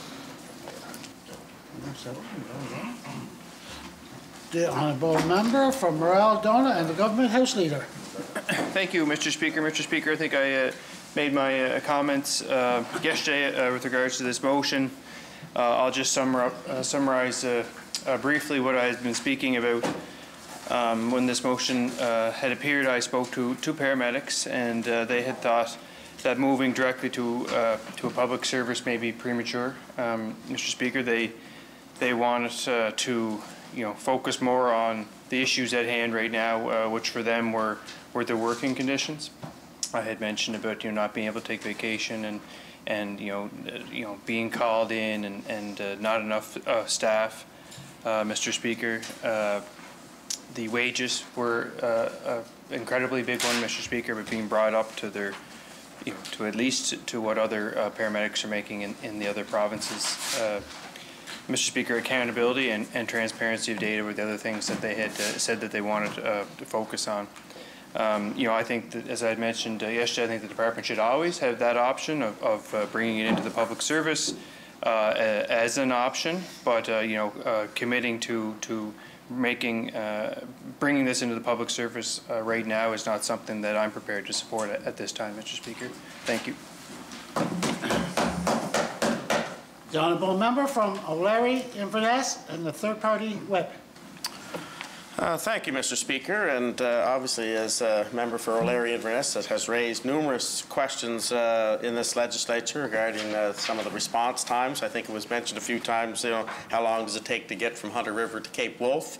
Uh, The reason I chose Cape Wolfe, because it's probably the farthest west location within my district, Mr. Speaker, but it, it does sort of summarize uh, the reality of what we're dealing with. And, uh, you know, I've, I've uh, had the opportunity as a minister to see one side of this equation. I've uh, seen ambulances come to our home, or my parents' home, I should say, at the time when they were alive. Uh, I've uh, talked to paramedics, and I, like many members in the House here, we always we have our, a couple of our favorite paramedics that are constituents that seem to be always sending us our our uh, situations and updates. So there's no secrets anymore about uh, the level of service, Mr. Speaker. But uh, you know, so I have a number of factors that I want to look at, and I raised I raised the issue just on the floor with, on the minister with his estimates. You know, when it comes to response times and uh, you know what, how uh, how response times are uh, informing the public and how we look at them. And like I said, uh, during my time as a minister, it was kind of the first one of the things that I would have on my desk. And I know as a minister, there's a pile of things on your desk from every subject imaginable when it comes to health care. But I always would try to make sure that I had a good look at the uh, response times. And I, not that I did, wasn't concerned about across the island by any means, Mr. Speaker, but I would in particular always look at the O'Leary zone. And, uh, you know, in the O'Leary zone, there are four ambulances that are based out of that particular zone, Mr. Speaker. And I certainly commend how awesome all our paramedics are. These are, uh, that these are first responders that are, you know, on very troubled situations that people are at probably in their worst situation that they could be in in their lives. And uh, they have to professionally uh, deal with uh, these situations, and uh, I would argue that they do it in a very professional manner, and uh, they are well trained to uh, handle those uh, situations, Mr. Speaker. But like I said in the floor with the estimates, you know, there's, I guess we're trying to determine how much money that, that Island EMS actually gets, and it seems like it's in the 14, 15, 16 million range. And, uh, you know, I, I think uh, we have to uh, make sure that we are getting value for our money back. I guess the question ultimately comes based on this motion, is public paramedicine better than, than the company that is able to provide it, that uh, has, uh, has experiences in other provinces, uh, and we also see, look at other provinces, although every province might have a little more particular version of how they deliver ambulance services in their region. I think we have to look at something that uh, makes sense for Prince Edward Island. We, we are a bit unique in the respect that we are in a very diverse uh, geographical area. Um, and, uh, you know, we don't have, we have a very bizarre setup for our municipalities. I know some, some uh, versions where there's public paramedicine, uh, it usually stems a little more around uh, our uh, uh, municipalities, the bigger centers that may have firefighters and, and uh, paramedics all, all in the same, same avenue, Mr. Speaker. And, you know, but I think we got to think about what's happened over the last while, Mr. Speaker. Even from my time, you know, we've, uh, you know, we have about 11,000 calls that these uh, people have to respond to. Uh, that's doubled since, uh, you know, uh, 2007, Mr. Speaker. It's, it's a significant increase. Now, I would argue that public policy will determine a little bit about how many re recalls we're going to get. I think of our time when, uh, when we were in government, we provided seniors with, for emergencies, free ambulances. That spiked the amount of calls. Just a reality of what we deal with, Mr. Speaker. So I would say that, you know, government can influence the amount of calls that we get just by the policies that it's going to implement. Uh, we talked earlier in the floor with the estimates that, the, you know, for for non-seniors, there's still a there's still a, a fee of $150 for an ambulance uh, call. And uh, so how we want to determine that, I, I, know I think the minister, he wasn't quite certain of the amount, but I, I would say that that 150 might be 10% of the actual cost of operating a call if you take it over a period of time. So it's a significant amount. So, I mean, we certainly can influence uh, as public uh, uh, people to how uh, this happens. Uh, one of the things that was kind of an interesting when I became minister, you know, I, I, was trying to figure out how our ambulance system, I kind of assumed that there would be situations where every uh, jurisdiction sort of was part of the, a public paramedicine process. And in fact, it's not. And in fact, it's, uh, our ambulance system is not even under the Canada Health Act. It's sort of a separate entity. It's a delivery of a service that could be private. It could be many different versions of how it's delivered. So, and I, and I recall uh, at some of our uh, ministers' meetings that what happens if an islander got hurt in another jurisdiction, they, they go with the assumptions it's going to be the same as here.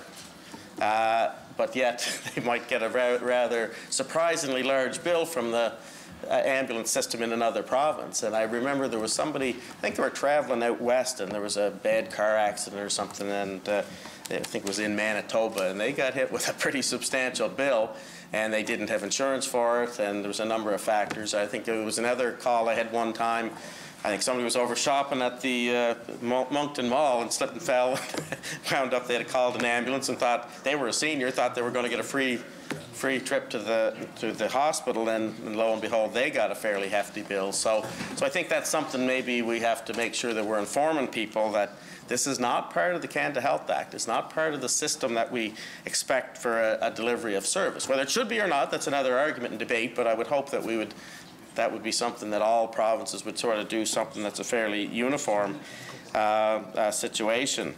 Uh, if I look at uh, you know, just the O'Leary zone, which I mentioned earlier that the response times has increased quite dramatically. Uh, you know, it, it's really ranged over the last year from an 11-minute response time to a 19-minute response time.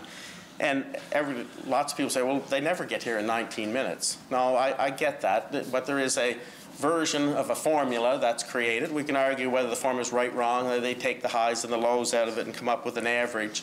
Uh, but it is, it is still an indicator of whether response times are going up or down. And uh, you know, with that, and I looked at uh, at the O'Leary numbers in the in the last quarter. You know, they had 223 calls on average, and uh, you know, in Prince Edward Island, you're looking at 40, 4,200 calls on average uh, for all in the last quarter. And, uh, you know, that, that's something that uh, has to be, uh, you know, it, there is a volume here, and these people are doing a lot of work. So there's seven ambulance zones on Prince Edward Island, and, you know, it's, it's some, one of those things that uh, we have zones for a reason. And this is something that I, I'll say I'm criticizing government and Island EMS at the moment. So if we have four ambulances based in O'Leary, we're hoping that's going to look after all the levels of service that the residents of the O'Leary zone would require. So that includes transfers, it includes uh, you know emergency calls, and it, it's a it's a journey from say the O'Leary Depot, which is locate, located on Willow Street in O'Leary. It's pretty rare that you'll ever see an ambulance sitting in that location. and uh, we come with that expectation that there's going to be, you know, at least one ambulance within that region. But unfortunately, the, the only ambulance available might be in Hunter River if we're lucky, and today there was none available at all. And, uh, you know, that leaves islanders very vulnerable. It leaves islanders in a state that uh, if something did happen unexpectedly, that they may not be able to uh, respond. And when I talk to paramedics, where their dissatisfaction is, is that they're trained to provide emergency services in a sudden, a certain situation. And if their response times are an hour, which is not uncommon by any means, their, their chances of having a successful outcome on somebody that might have taken a heart attack or whatever is, is, is lower. And like any person, we want to be successful when we arrive. We want to have a good news story. You know, uh, we don't want to have a, a person that is in a chronic state that the chances of success, uh, a successful outcome are unlikely. And that really puts a lot of pressure on our paramedics. On top of that, Mr. Speaker, when I say when we talk about an ambulance at one location, if it's only in Hunter River, and I did get, create quite a stir in my district when you know I took a picture of an ambulance in Hunter River, and uh, but that was fact, Mr. Speaker. That was an ambulance that was in Hunter River, and it, and like I say, if there had been a call in Cape Wolfe, that uh, was a pretty, and I thought it was actually the only ambulance that was uh, in, on, uh, from Charlottetown to North Cape. And then I find out a little later, no, that was the only ambulance on Prince Edward Island. so, so when you have four, five, six ambulances that are off island, uh, taking people to uh, different locations, and that comes from a number of factors too. And I know the Premier made a statement that they're going to try to collaborate more with uh, with uh, other provinces in providing medical services. It's a large budget item. Uh, Off-island medical services, I think, is probably the second largest budget item uh, for healthcare delivery. So if we're going to do more of that, we're going to have to have an ambulance services that, that's going to be able to accommodate that. This government seems to have no plan for, for these types of uh, equations that are coming forward here, Mr. Speaker. The minister will say that there's, well, I've heard him say nine more uh, uh, paramedics coming into the system, or there's uh, or there's 11 more. We're not sure the exact number here at the moment, and that's fair. I don't expect the minister to know all, all these numbers specifically. But uh, that's probably the next time we're going to get a chance at another eight or nine till next year, Mr. Speaker. And that's, so it's not uncommon that we get a, a, a bunch of uh, paramedics and, and that those numbers sound pretty good today, but they don't sound so good come December uh, when waiting for the next batch to come. And uh, Unfortunately, if we can't uh, hire all the graduates or hire a significant number as a pool of potential paramedics, then all of a sudden they're taken up by other places or they go take a job in another jurisdiction and the chances of getting them back are, are not real uh, successful, Mr. Speaker. I know we talked a lot here about contracts with Island EMS, and uh, I've met with them numerous times as a minister. Uh, although not part of a specific uh, negotiation, we certainly would uh, talk about uh, services that we could advance and services that we thought we could have. And I remember signing the contract regarding our Island EMS uh, paramedics being able to deliver some palliative care services in homes. And uh, you know, it was a case where if there was a paramedic that was available on a call late at night, they could they could go in and check on a to deal with maybe a pain management issue because their home care nurses might not be able to get, be there and through the night and things of that nature. And I will say that that was a, you know, generally a, a successful uh, uh, process. Uh, another thing I was involved with, Mr. Speaker, during my time as minister was uh, a paramedical school for advanced care paramedics at UPEI, Mr. Speaker. And I want to give a shout out to Dr. Trevor Jain for uh, his efforts in getting that school up and running. But that school's been running for a while, Mr. Speaker, and we're still not caught up. In fact, we're going behind in the amount of uh, paramedics that we have that are, are available uh, for, uh, to, to, do the work that is required. Um, so, you know, I, I, think there's a lot of things that need to, need to happen here. Uh, I have concerns about making it a public system. Uh, I've had numerous conversations with uh, a number of paramedics from my district. I will say in general, they're not supportive of this. That leads me to believe, as, a, as their elected representative, I have a hard time supporting this motion. Uh, but I'm not saying it's not a worthy motion and not worthy of discussion. I think it's a, I commend the, you know, the opposition parties here for bringing something like this to have discussion and have some input by all of us here, uh, Mr. Speaker. Uh, I think that is, is worthy. And uh, you know, I, I, think of the situation. I know there's an upcoming meeting of the uh, O'Leary Hospital uh, regarding, uh, you know, usually they have an annual meeting with the Hospital Foundation of some of the issues that they brought forward. I know we've had the minister uh, for meetings uh, about a year ago, and one of the one of the issues that I'd started a bit when I was minister was about the situation at the uh, with Island EMS and their depot at Willow Street in O'Leary. It's the, the building is somewhat dilapidated. It's not to the standard that I think that our paramedics would like to have uh, when they have a chance to, uh, to be at a depot. And uh, I am proposing, or, and I think the foundation would be doing the same thing as proposing that we uh, try to uh, re re relocate that depot at, to have it actually on the site of the hospital. And although we don't have uh, emergency rooms at the O'Leary Hospital, no different than in Souris, uh, we do have uh, acute care services as well as uh, long-term care services there. So having the depot at that location may, uh, may be a good opportunity to provide extra coverage to the people that are already there. And it allows those paramedics to work with health professionals in a, in a very collaborative approach uh, at the same particular site. And may be able to be a, a worthy lo location. But it means that you know, the government has to come up with the capital cost to do some renovations, to do a, do a proper job. And I understand at the O'Leary Hospital that they are looking for uh, other services. They need more space. So here's a chance to sort of, as the old saying, kill two birds with one stone by uh, investing in uh, upgrading the island EMS. And what we could do in that particular case, Mr. Speaker, is that the province would own the building and the province would uh, lease it out to uh, the space out to Island EMS and collect a, a rent for that or take off uh, the 14 or 15 million dollars that we're giving them. You can make that work very easily, Mr. Speaker.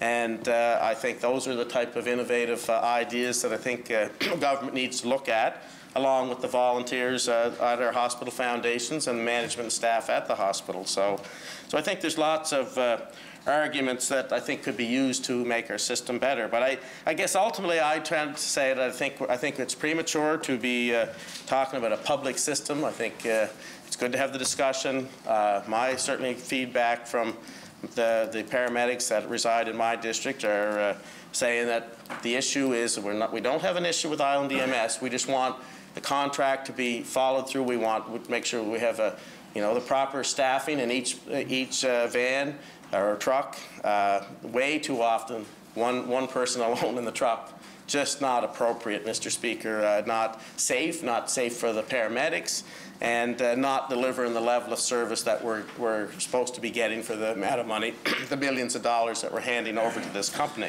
So although I tend to be very critical of government, and uh, I appreciate what the, what the opposition parties are trying to do with a motion like this. I, I, have a hard time supporting the motion as it's worded here now, Mr. Speaker. And, uh, and it really starts out with the issue of calling on government to improve and move towards a public paramedicine system. And as a caucus, I know we've discussed this and thought about ways of trying to soften it or amend it. I guess uh, my part is I don't feel, I feel at this point in time, I'm not opposed to the idea, but at this point in time, I don't think we're ready for it, and I have a hard time supporting the motion as uh, worded here, Mr. Speaker. And I do not, uh, I'm not going to be amending it in any regard. So, so from that, so from that, Mr. Speaker, I guess I've made it pretty clear my views on this particular and how I would vote, and uh, I'll uh, cede the floor to another speaker on the motion, Mr. Speaker. Thank you. The Honourable Leader of the Third Party. Well, thank you, Mr. Speaker. I really didn't think I'd get to speak today, but anyway, thank you, Honourable Member. Um, I guess uh, this this is a great motion, and I too just wanted to add my voice to it. Uh, we all know these paramedics are wonderful individuals. They live in our communities, they work in our communities, they're volunteers in our communities. They do a great job. If this was to be put under the public service or changed in any way. We see what the government has done to them already. They're providing a company, a company's trying to provide a service, the government keeps dumping more responsibilities on them and dumping more responsibilities on them. They have them running around, they have them doing home care, they had them doing the mobile mental health. Like, there's only so many of them. They got sick during COVID, people needed time off. Like, it's no wonder that we're, we're getting the service we're getting. Government keeps piling stuff on. So imagine if government had them under their umbrella. Holy smokes. Anyway, transfers. Why isn't there a, why isn't there a delegated group to transfer people in the province? Uh, did anybody think now they laugh at us when we make suggestions? I'll make another one. Let them laugh at me. Hire a driver to drive the ambulance and have one person with the patient. Why do you need two paramedics if you're short? Like, have a driver. Instead of having a, a, unit sitting empty at the depot because they got nobody to drive them or go pick people up. Like, you know, there's so many things that it's not EMS is all their fault. It's certainly not the workers' fault. Now, the minister talked 18, 11, 13, 9. Like, it's the same as the budget. We get different figures on everything. Like, they can't even tell us how many beds are available or how many are empty. Like, same old, same old stuff. But then they criticize us for us, us and the official opposition for doing our job oh, and try to keep them to account. Like, come on. Like, and when they were over here, mm. and I'll say this until the cows come home, they knew how to do everything. Yeah. And they did lots of heckling. And now they're over there and they're starting to heckle again. And but but they're doing everything different. Well, yeah, they're doing everything different, all right. They make sure they're doing what they want to do. And you know, I was taken to St. John, New Brunswick, and there's people that go to Halifax every day. Those EMS personnel are the most dedicated mm-hmm. and care about their jobs and about us more than anybody I know in this province.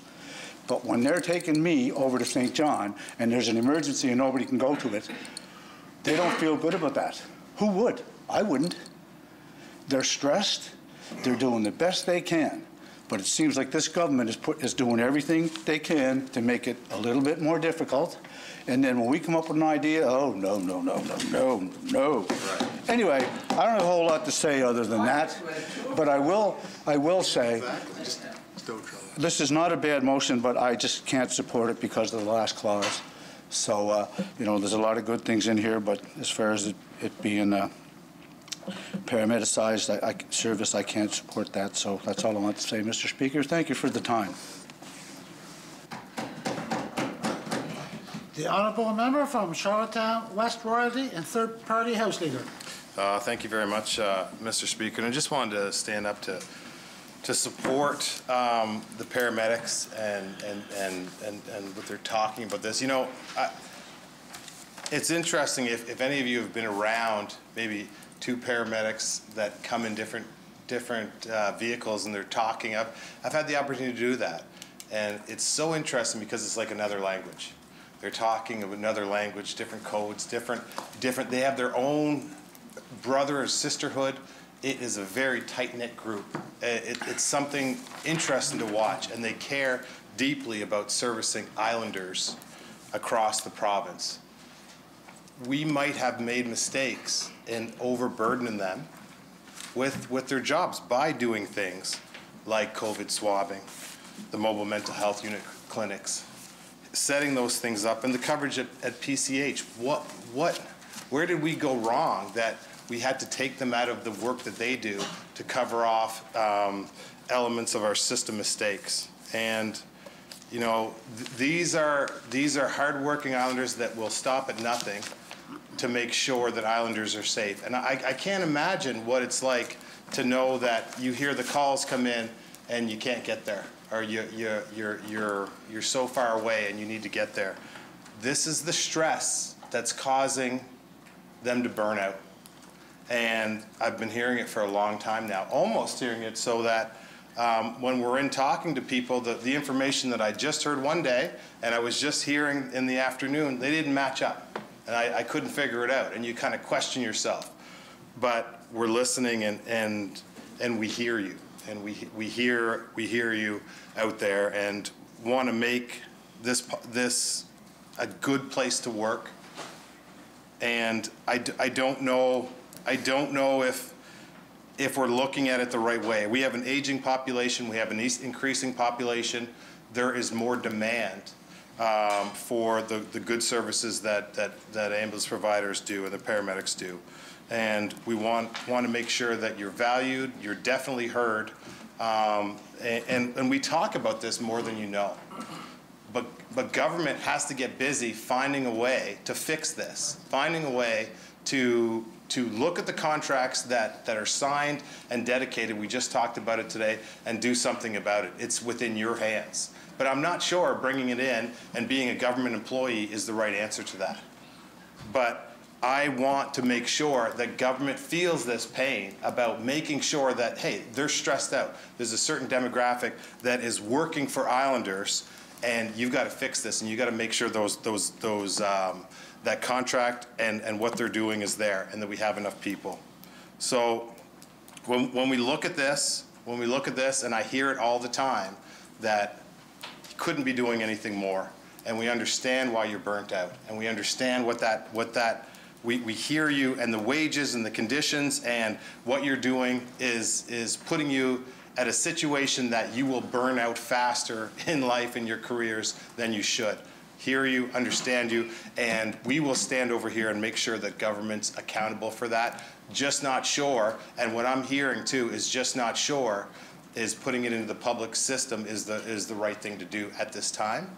Other than that, um, I'm glad I had the opportunity to speak, and thanks for reaching out to me, and uh, I'll cede the floor, Mr. Speaker. Honourable members, I exhausted my list. Is there any? Honourable Minister of Environment, Energy and Climate Action. Thank you, Mr. Speaker. So I don't often get up to speak to motions, but I, I do, I know, and, and after hearing the leader of the third party speak, I felt compelled to, to speak, and he's, and he's right. He's, he's very right. When we were over there, we did have all, all the answers, and, and uh, perhaps uh, in some cases, it's not as easy as, uh, as we thought it was. Now, you have a different advantage. You came from here over there. You should know that beforehand, but What I will say is this, Mr. Speaker, and, and it was funny because I, I, I have friends that are, that uh, work for Island EMS. They, they drive ambulances. I've spoken to a number of them over the past number of weeks. People have been reaching out to me, and I've had a number of conversations, and I've heard a number of stories. and I got looking back through the, the transcripts, Mr. Speaker, and you'd be happy to know I found your name in relation to, to this issue. And this was, I, I remember back in 2014, got quite similar questions were being, being asked on the floor. And at that time, I had learned a lot about how the whole ambulance system worked. um, not unlike how the, whole proceedings are, are unfolding today, where we, we did through some through research, some from hearing from drivers, and some from going right out to Island EMS and meeting with them and trying to figure out what the issues were of the day. um, what I can say is that, you know, I'm probably re- really fortunate where I, I live um, because the Georgetown Fire Department, our first responder fire department, and the and their jurisdiction is is very small. And from I don't live in Georgetown, but I do live in Burn Point, and from my house to the to the fire station driving is just like a matter of, of minutes. And I've seen them in action. um, one night in the winter back in, I'm going to say, it was 2014 or 2015. Some, it might have been the winter of 2014, 2015. I was driving in, into Georgetown in the evening, and I'm not sure if I was perhaps going to the rink to play hockey or, or something, but I noticed an object on the road as I came in into the community, and as I got closer, I just moved moved over to swerve, and as I went by, I realized it was a per, a person on the road. So I jammed on the brakes and got out. Other people came along, and a call was made to 911. And I'll tell you that the fire department in Georgetown was there in a matter of seconds, had the paddles out, revived this man. I still see him walking the, the streets today. And, and actually, Mr. Speaker, during the last election, he sat in my, uh, in my campaign office and pointed out everybody that was coming to the poll because the poll was across the street because he knew every car because that's 'cause he spent so much time watching the cars. So it just goes to show you some of the other people who might be involved in, in the system. And I know if you go over to the Cardigan Fire Department, a number of the members over the years have been uh, worked for Island EMS as paramedics, and they've had a great advantage of have, being able to have some of those people on the trucks um, as volunteers when they're not work, working their shifts, and they're very fortunate for that. and I, I guess as, as far as the motion goes, like I'm very sincerely, I, I think the, I think that the honorable member is very sincere in, in her approach and deserves a lot of credit for the work she's, that she's done. And obviously, if she's able to gather information, there's a, a level of trust that's out there with people. And I think that's, you know, I think that's an important thing when you get to the point in politics where people are willing to tell you stuff because they trust you, then, you know, that's probably a really high watermark for um, how people view you. I think that's so. I think that's a very important thing that I want to point out. I don't. I, I don't think I support, support the motion, but not because I don't want to see things fixed. I'm just not convinced that it, as a public service that I think that's the, the best place for it. Uh, I, I, I don't think you'd find anybody over here who would say, let's not fix this. Like, uh, I think would very sincerely people, and, and I know the things that I've been told, and I know the people who I've talked to, and uh, you know, I'm not going to repeat their, their stories because they were told to be in trust, but I think that I, uh, I very much want to help the people who have come to me have uh, better results, the, the, the results that they're looking for in, in their daily job. So uh, I think this is a great motion. I think it's been a great debate. I don't think I can support the motion, but that doesn't mean I don't support the work that the honourable member has done. Thank you, Mr. Speaker. Okay, honourable members, I exhausted my list. Is there anyone else that would like to speak? If not, I'll go to the mover of the motion to close debate, the honourable member from Mermaid Stratford, and the opposition House Leader. Thank you, Mr. Speaker. And I want to thank everybody who has spoken to this motion, who has stayed and listened to everything that um, has been said in this House. I want to um, thank the paramedics who I know are tuning in and as well here. Um, I know that you have to be in a pretty serious situation in order to reach out um, to the extent that they are. And I, um, I thank the honorable uh, member for pointing out that it does take a, a huge amount of trust to reach out and to share things that you know could put you in a very precarious position. And I appreciate and I hold that dear because I know that um, I'm very fortunate that, um, that that is the case. So I want to share with you what I've heard directly from paramedics. And it's not just one or two, it is a whole network that are trying to improve the system for PE, for all islanders. And it's not because, you know, they need better health care. It's because they know their families live in live on this province in this province and they want to ensure that their friends and their neighbors um, all get the care that they so much want to give. Um, they love their job. They love going to their job. They love, um, they love caring for the islanders that are behind those doors when they arrive.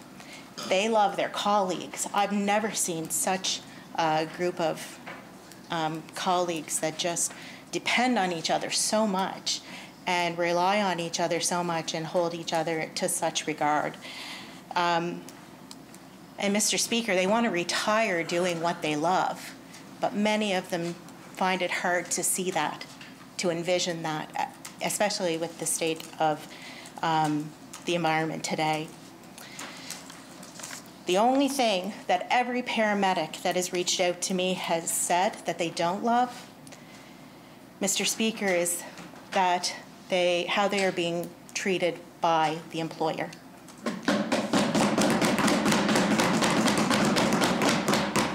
It's the unfair wages. It's the inability to get vacation time. It's the rejection of using their bank time. Frankly, it's the blatant lies that are in the media because when they are not supported in the media, when they arrive at people's homes, it's them who are public facing and have to deal with the concern of the family members that are there. I've also had a paramedic arrive at my home, and uh, when my dad was at the worst, and I got to see what it looked like in that back hallway at the hospital. I've never seen anything like it. Five ambulances sitting there, and their hands are tied because they know calls are coming in and they can't respond.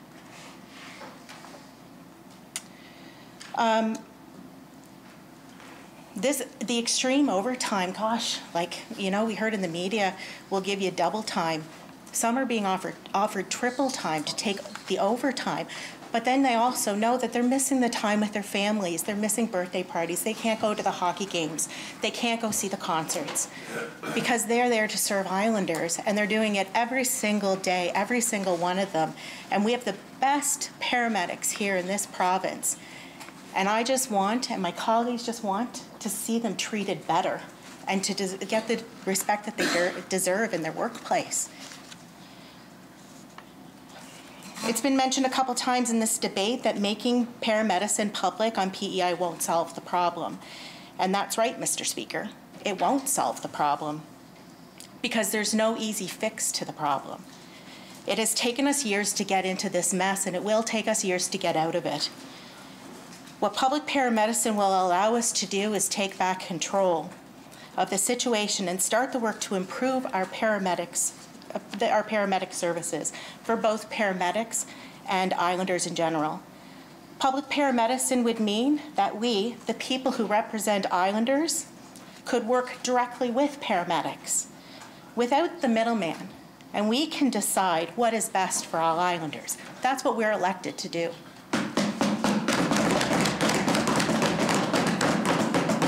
We could ensure our paramedics are treated fairly and with the respect that they deserve. As opposition, we hold this government to account if they, do, if they don't do this. But that is not easy to do under a private system. Mr. Speaker, this is why Canadians, as Canadians, we unanimously love our public health care system. It is our pride and joy. We talk about it all over the world.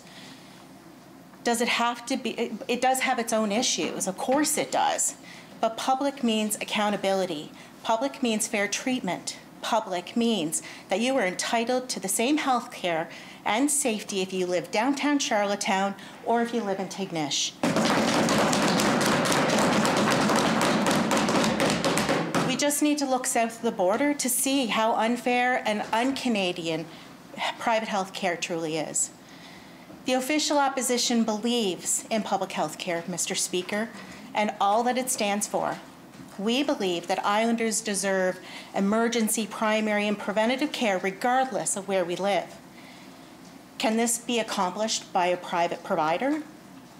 Yes, but the reality is, under Medavie, it's not.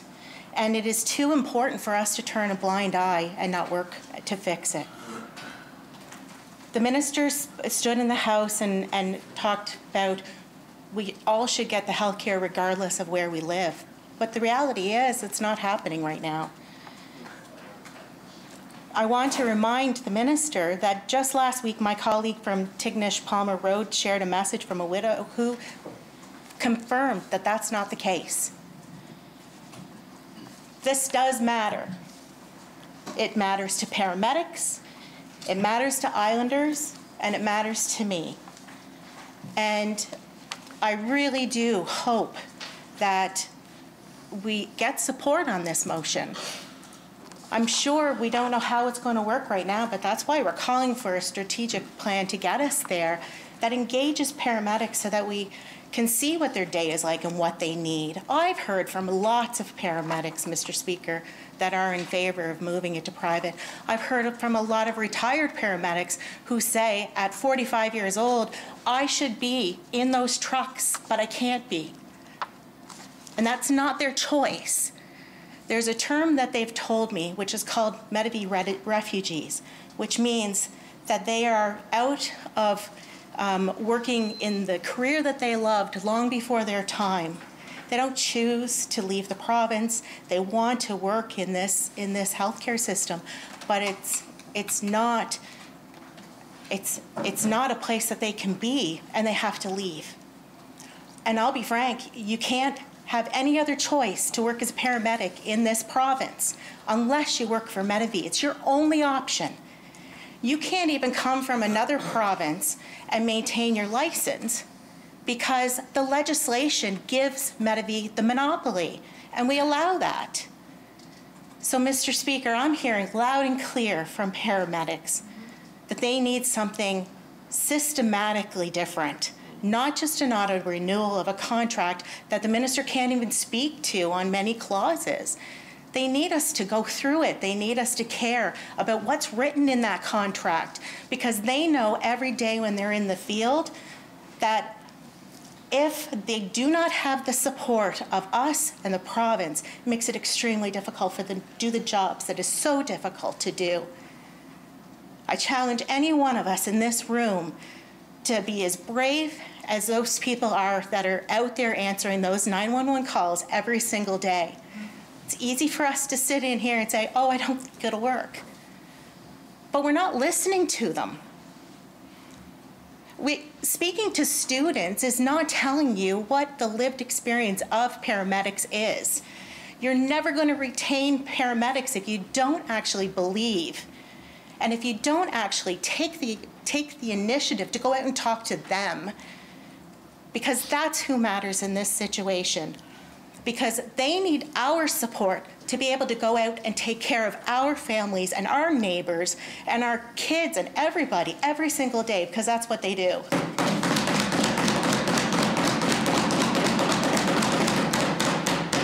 Mr. Speaker, I won't stop until I see changes to ensure that they are supported and that they get the change that they desperately need so that they can go to work and live a healthy life and do what they need to do every single day because we're depending on them.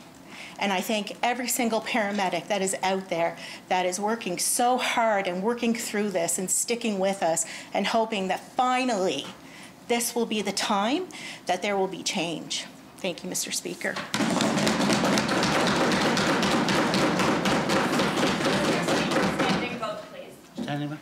Honorable members, there was requested for a standing vote. Your arms, you may ring the bell.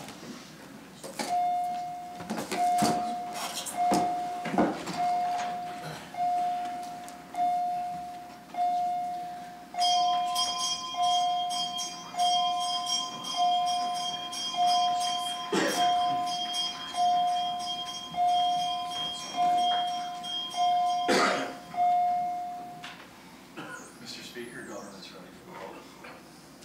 Mr. Speaker, the opposition is ready for the vote.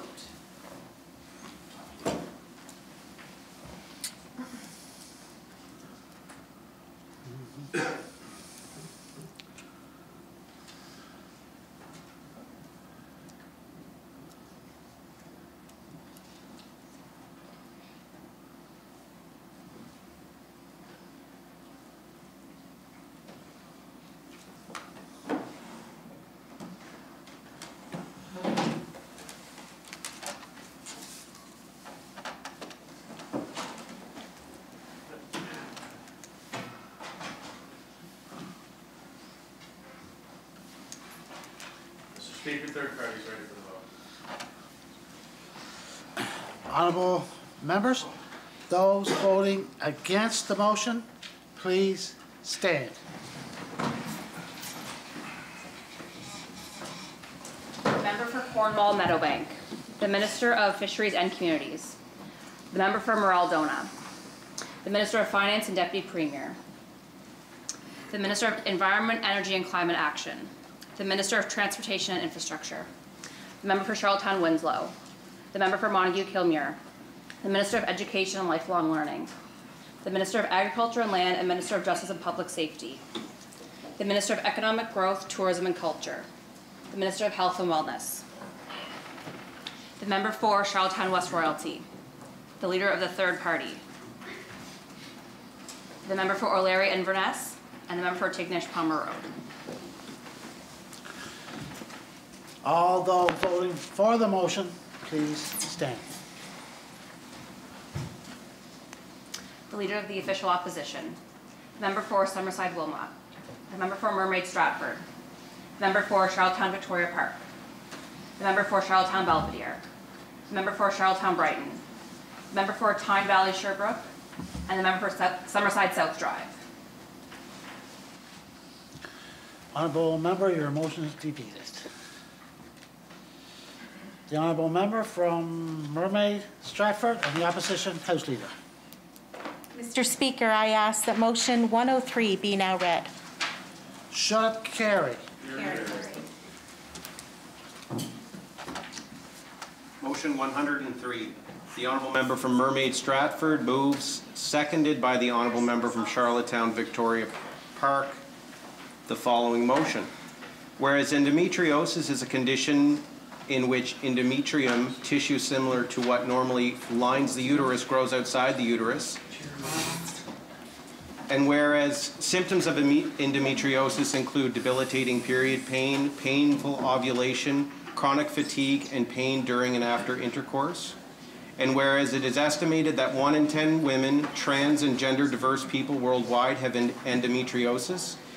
And whereas on average it takes seven years to correctly diagnose endometriosis. And whereas there is no known cure, however, symptoms can be managed through ex- excision surgery. And whereas long waits for diagnosis, misdiagnosis, and disbelief of symptoms se- severity often lead to poor mental health of individuals struggling with this disease. Therefore, be it resolved that the Legislative Assembly urge government to conduct awareness and education campaigns highlighting the prevalence and impacts of endometriosis for both healthcare practitioners and the general public. Therefore, be it further resolved that the Legislative Assembly urge government to create guidelines for diagnosing endometriosis. And therefore, be it further resolved that the Legislative Assembly urge government to compile a list of resources and treatments available to those who are diagnosed with endometriosis on PEI. And therefore, be it further resolved that the Legislative Assembly urge government to improve data collection on endometriosis and enhance support for islanders with endometriosis to participate in clinical trials. The honourable member from Mermaid Stratford, the opposition House Leader, to start debate. Thank you, Mr. Speaker. Mr. Speaker, endometriosis was not something I knew anything about prior to the election of 2019. And I think we all have stories of somebody who comes and speaks to us during that campaign to tell us what our needs are. And I'm bringing this motion forward because of a very, very brave woman who lives in my district. And um, I like to call her a friend. I never knew her before. She sat on my couch and she told me all about her, her um, story with endometriosis. And we cried. And I couldn't believe that that's the way that some women are treated within our healthcare system. So, Mr. Speaker, I committed at that point in time that if I was elected, that I would bring forward endometriosis in the Legislative Assembly and I would look for better supports. And that's why I stand here today. But, Mr. Speaker, I wouldn't be able to stand here today without the story of my constituent. And with her permission, I'm going to share with you her story, her 26 year ordeal of trying to get diagnosed with endometriosis. Her name is Pam McDonald. And these are her words. I first had symptoms of endometriosis when I was 13. Perhaps even before then, as I always had a sore stomach as a kid, and no amount of testing ever gave an answer as to why it was happening. I got my period when I was 13. I was excited at the time, but that excitement quickly turned to dread. I would bleed for weeks on end. The never ending bleeding was made worse by the fact that I did not have access to menstrual hygiene products. Throughout my adolescent years, the excessive and prolonged bleeding continued, and as the years went by, my pain increased. I, work up, I worked up the courage to talk to a male doctor about, um, about this when I was 17 years old. He put me on hormonal contraception, contraception. I didn't like the way that it made me feel, so I stopped.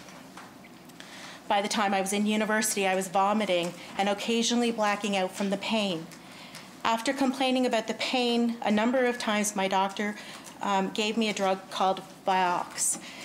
Um, this drug was removed from the market in 2004 due to the increased risk, risk of heart attack and stroke, and there were several, several class action suits um, associated with it.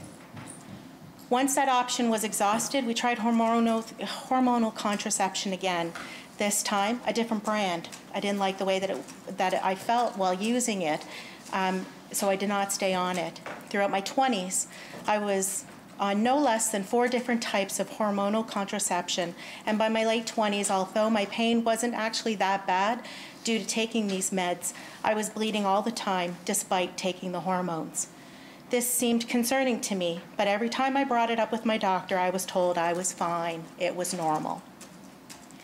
By the time I turned 30, my pain started to return. I stopped taking the hormones because they no longer helped to mask my symptoms. The bleeding got worse. The pain was back in blackout levels. Still, my doctor was all said all this was normal, and when I asked for referrals to a gynecologist, I was given a host of reasons of why I didn't need to see one. Oh, they're too busy to see you. The wait list is too long. What if I send you and someone with cancer um, may not um, may not be on the list and you took their place? Excuses after excuses after excuses. Finally, I started going to the women's health clinic. I knew the doctor there was a woman, and although she wasn't a gynecologist, she obviously dealt with this kind of thing on a regular basis. I told her what, I, what was going on, uh, what I was going through. She agreed that I was probably in pain, but she didn't have any symptom, uh, any solutions for it. My pain was reaching levels where I wasn't sure how much longer I would be able to get out of bed in the morning. I had developed medical trauma So going to the doctor was a panic-inducing event. My disease remained unchecked for 26 years. Because of that, much of the damage that has been done is now permanent. It wasn't give, I wasn't, sorry, I wasn't given the opportunity to have children. This disease robbed me of that. It robbed me. Sorry, Mr. Speaker. It robbed me of my plans to further my education and to live my life to its fullest. Mr. Speaker, Pam would be here today, but I'm happy to say that she had her surgery on Thursday. 26 years she was waiting. And last week I had the opportunity to talk to her, her physician who was doing the excision um, surgery, which is the gold standard and which is really, I believe, only available in Toronto. And it took 26 years for her to get there because she wasn't believed. Um, she was told pelvic pain is normal. She was told blacking out due to pain. Nothing wrong with that. I wholly disagree with that.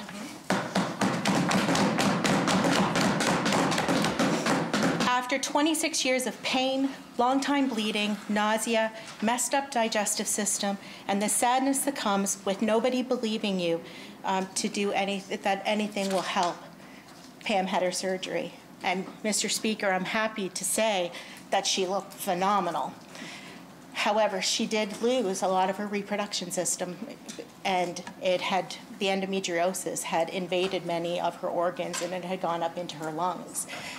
Um, the physician, Dr. Lemos, um, I heard from him, he's in Brazil right now doing more endometriosis surgeries.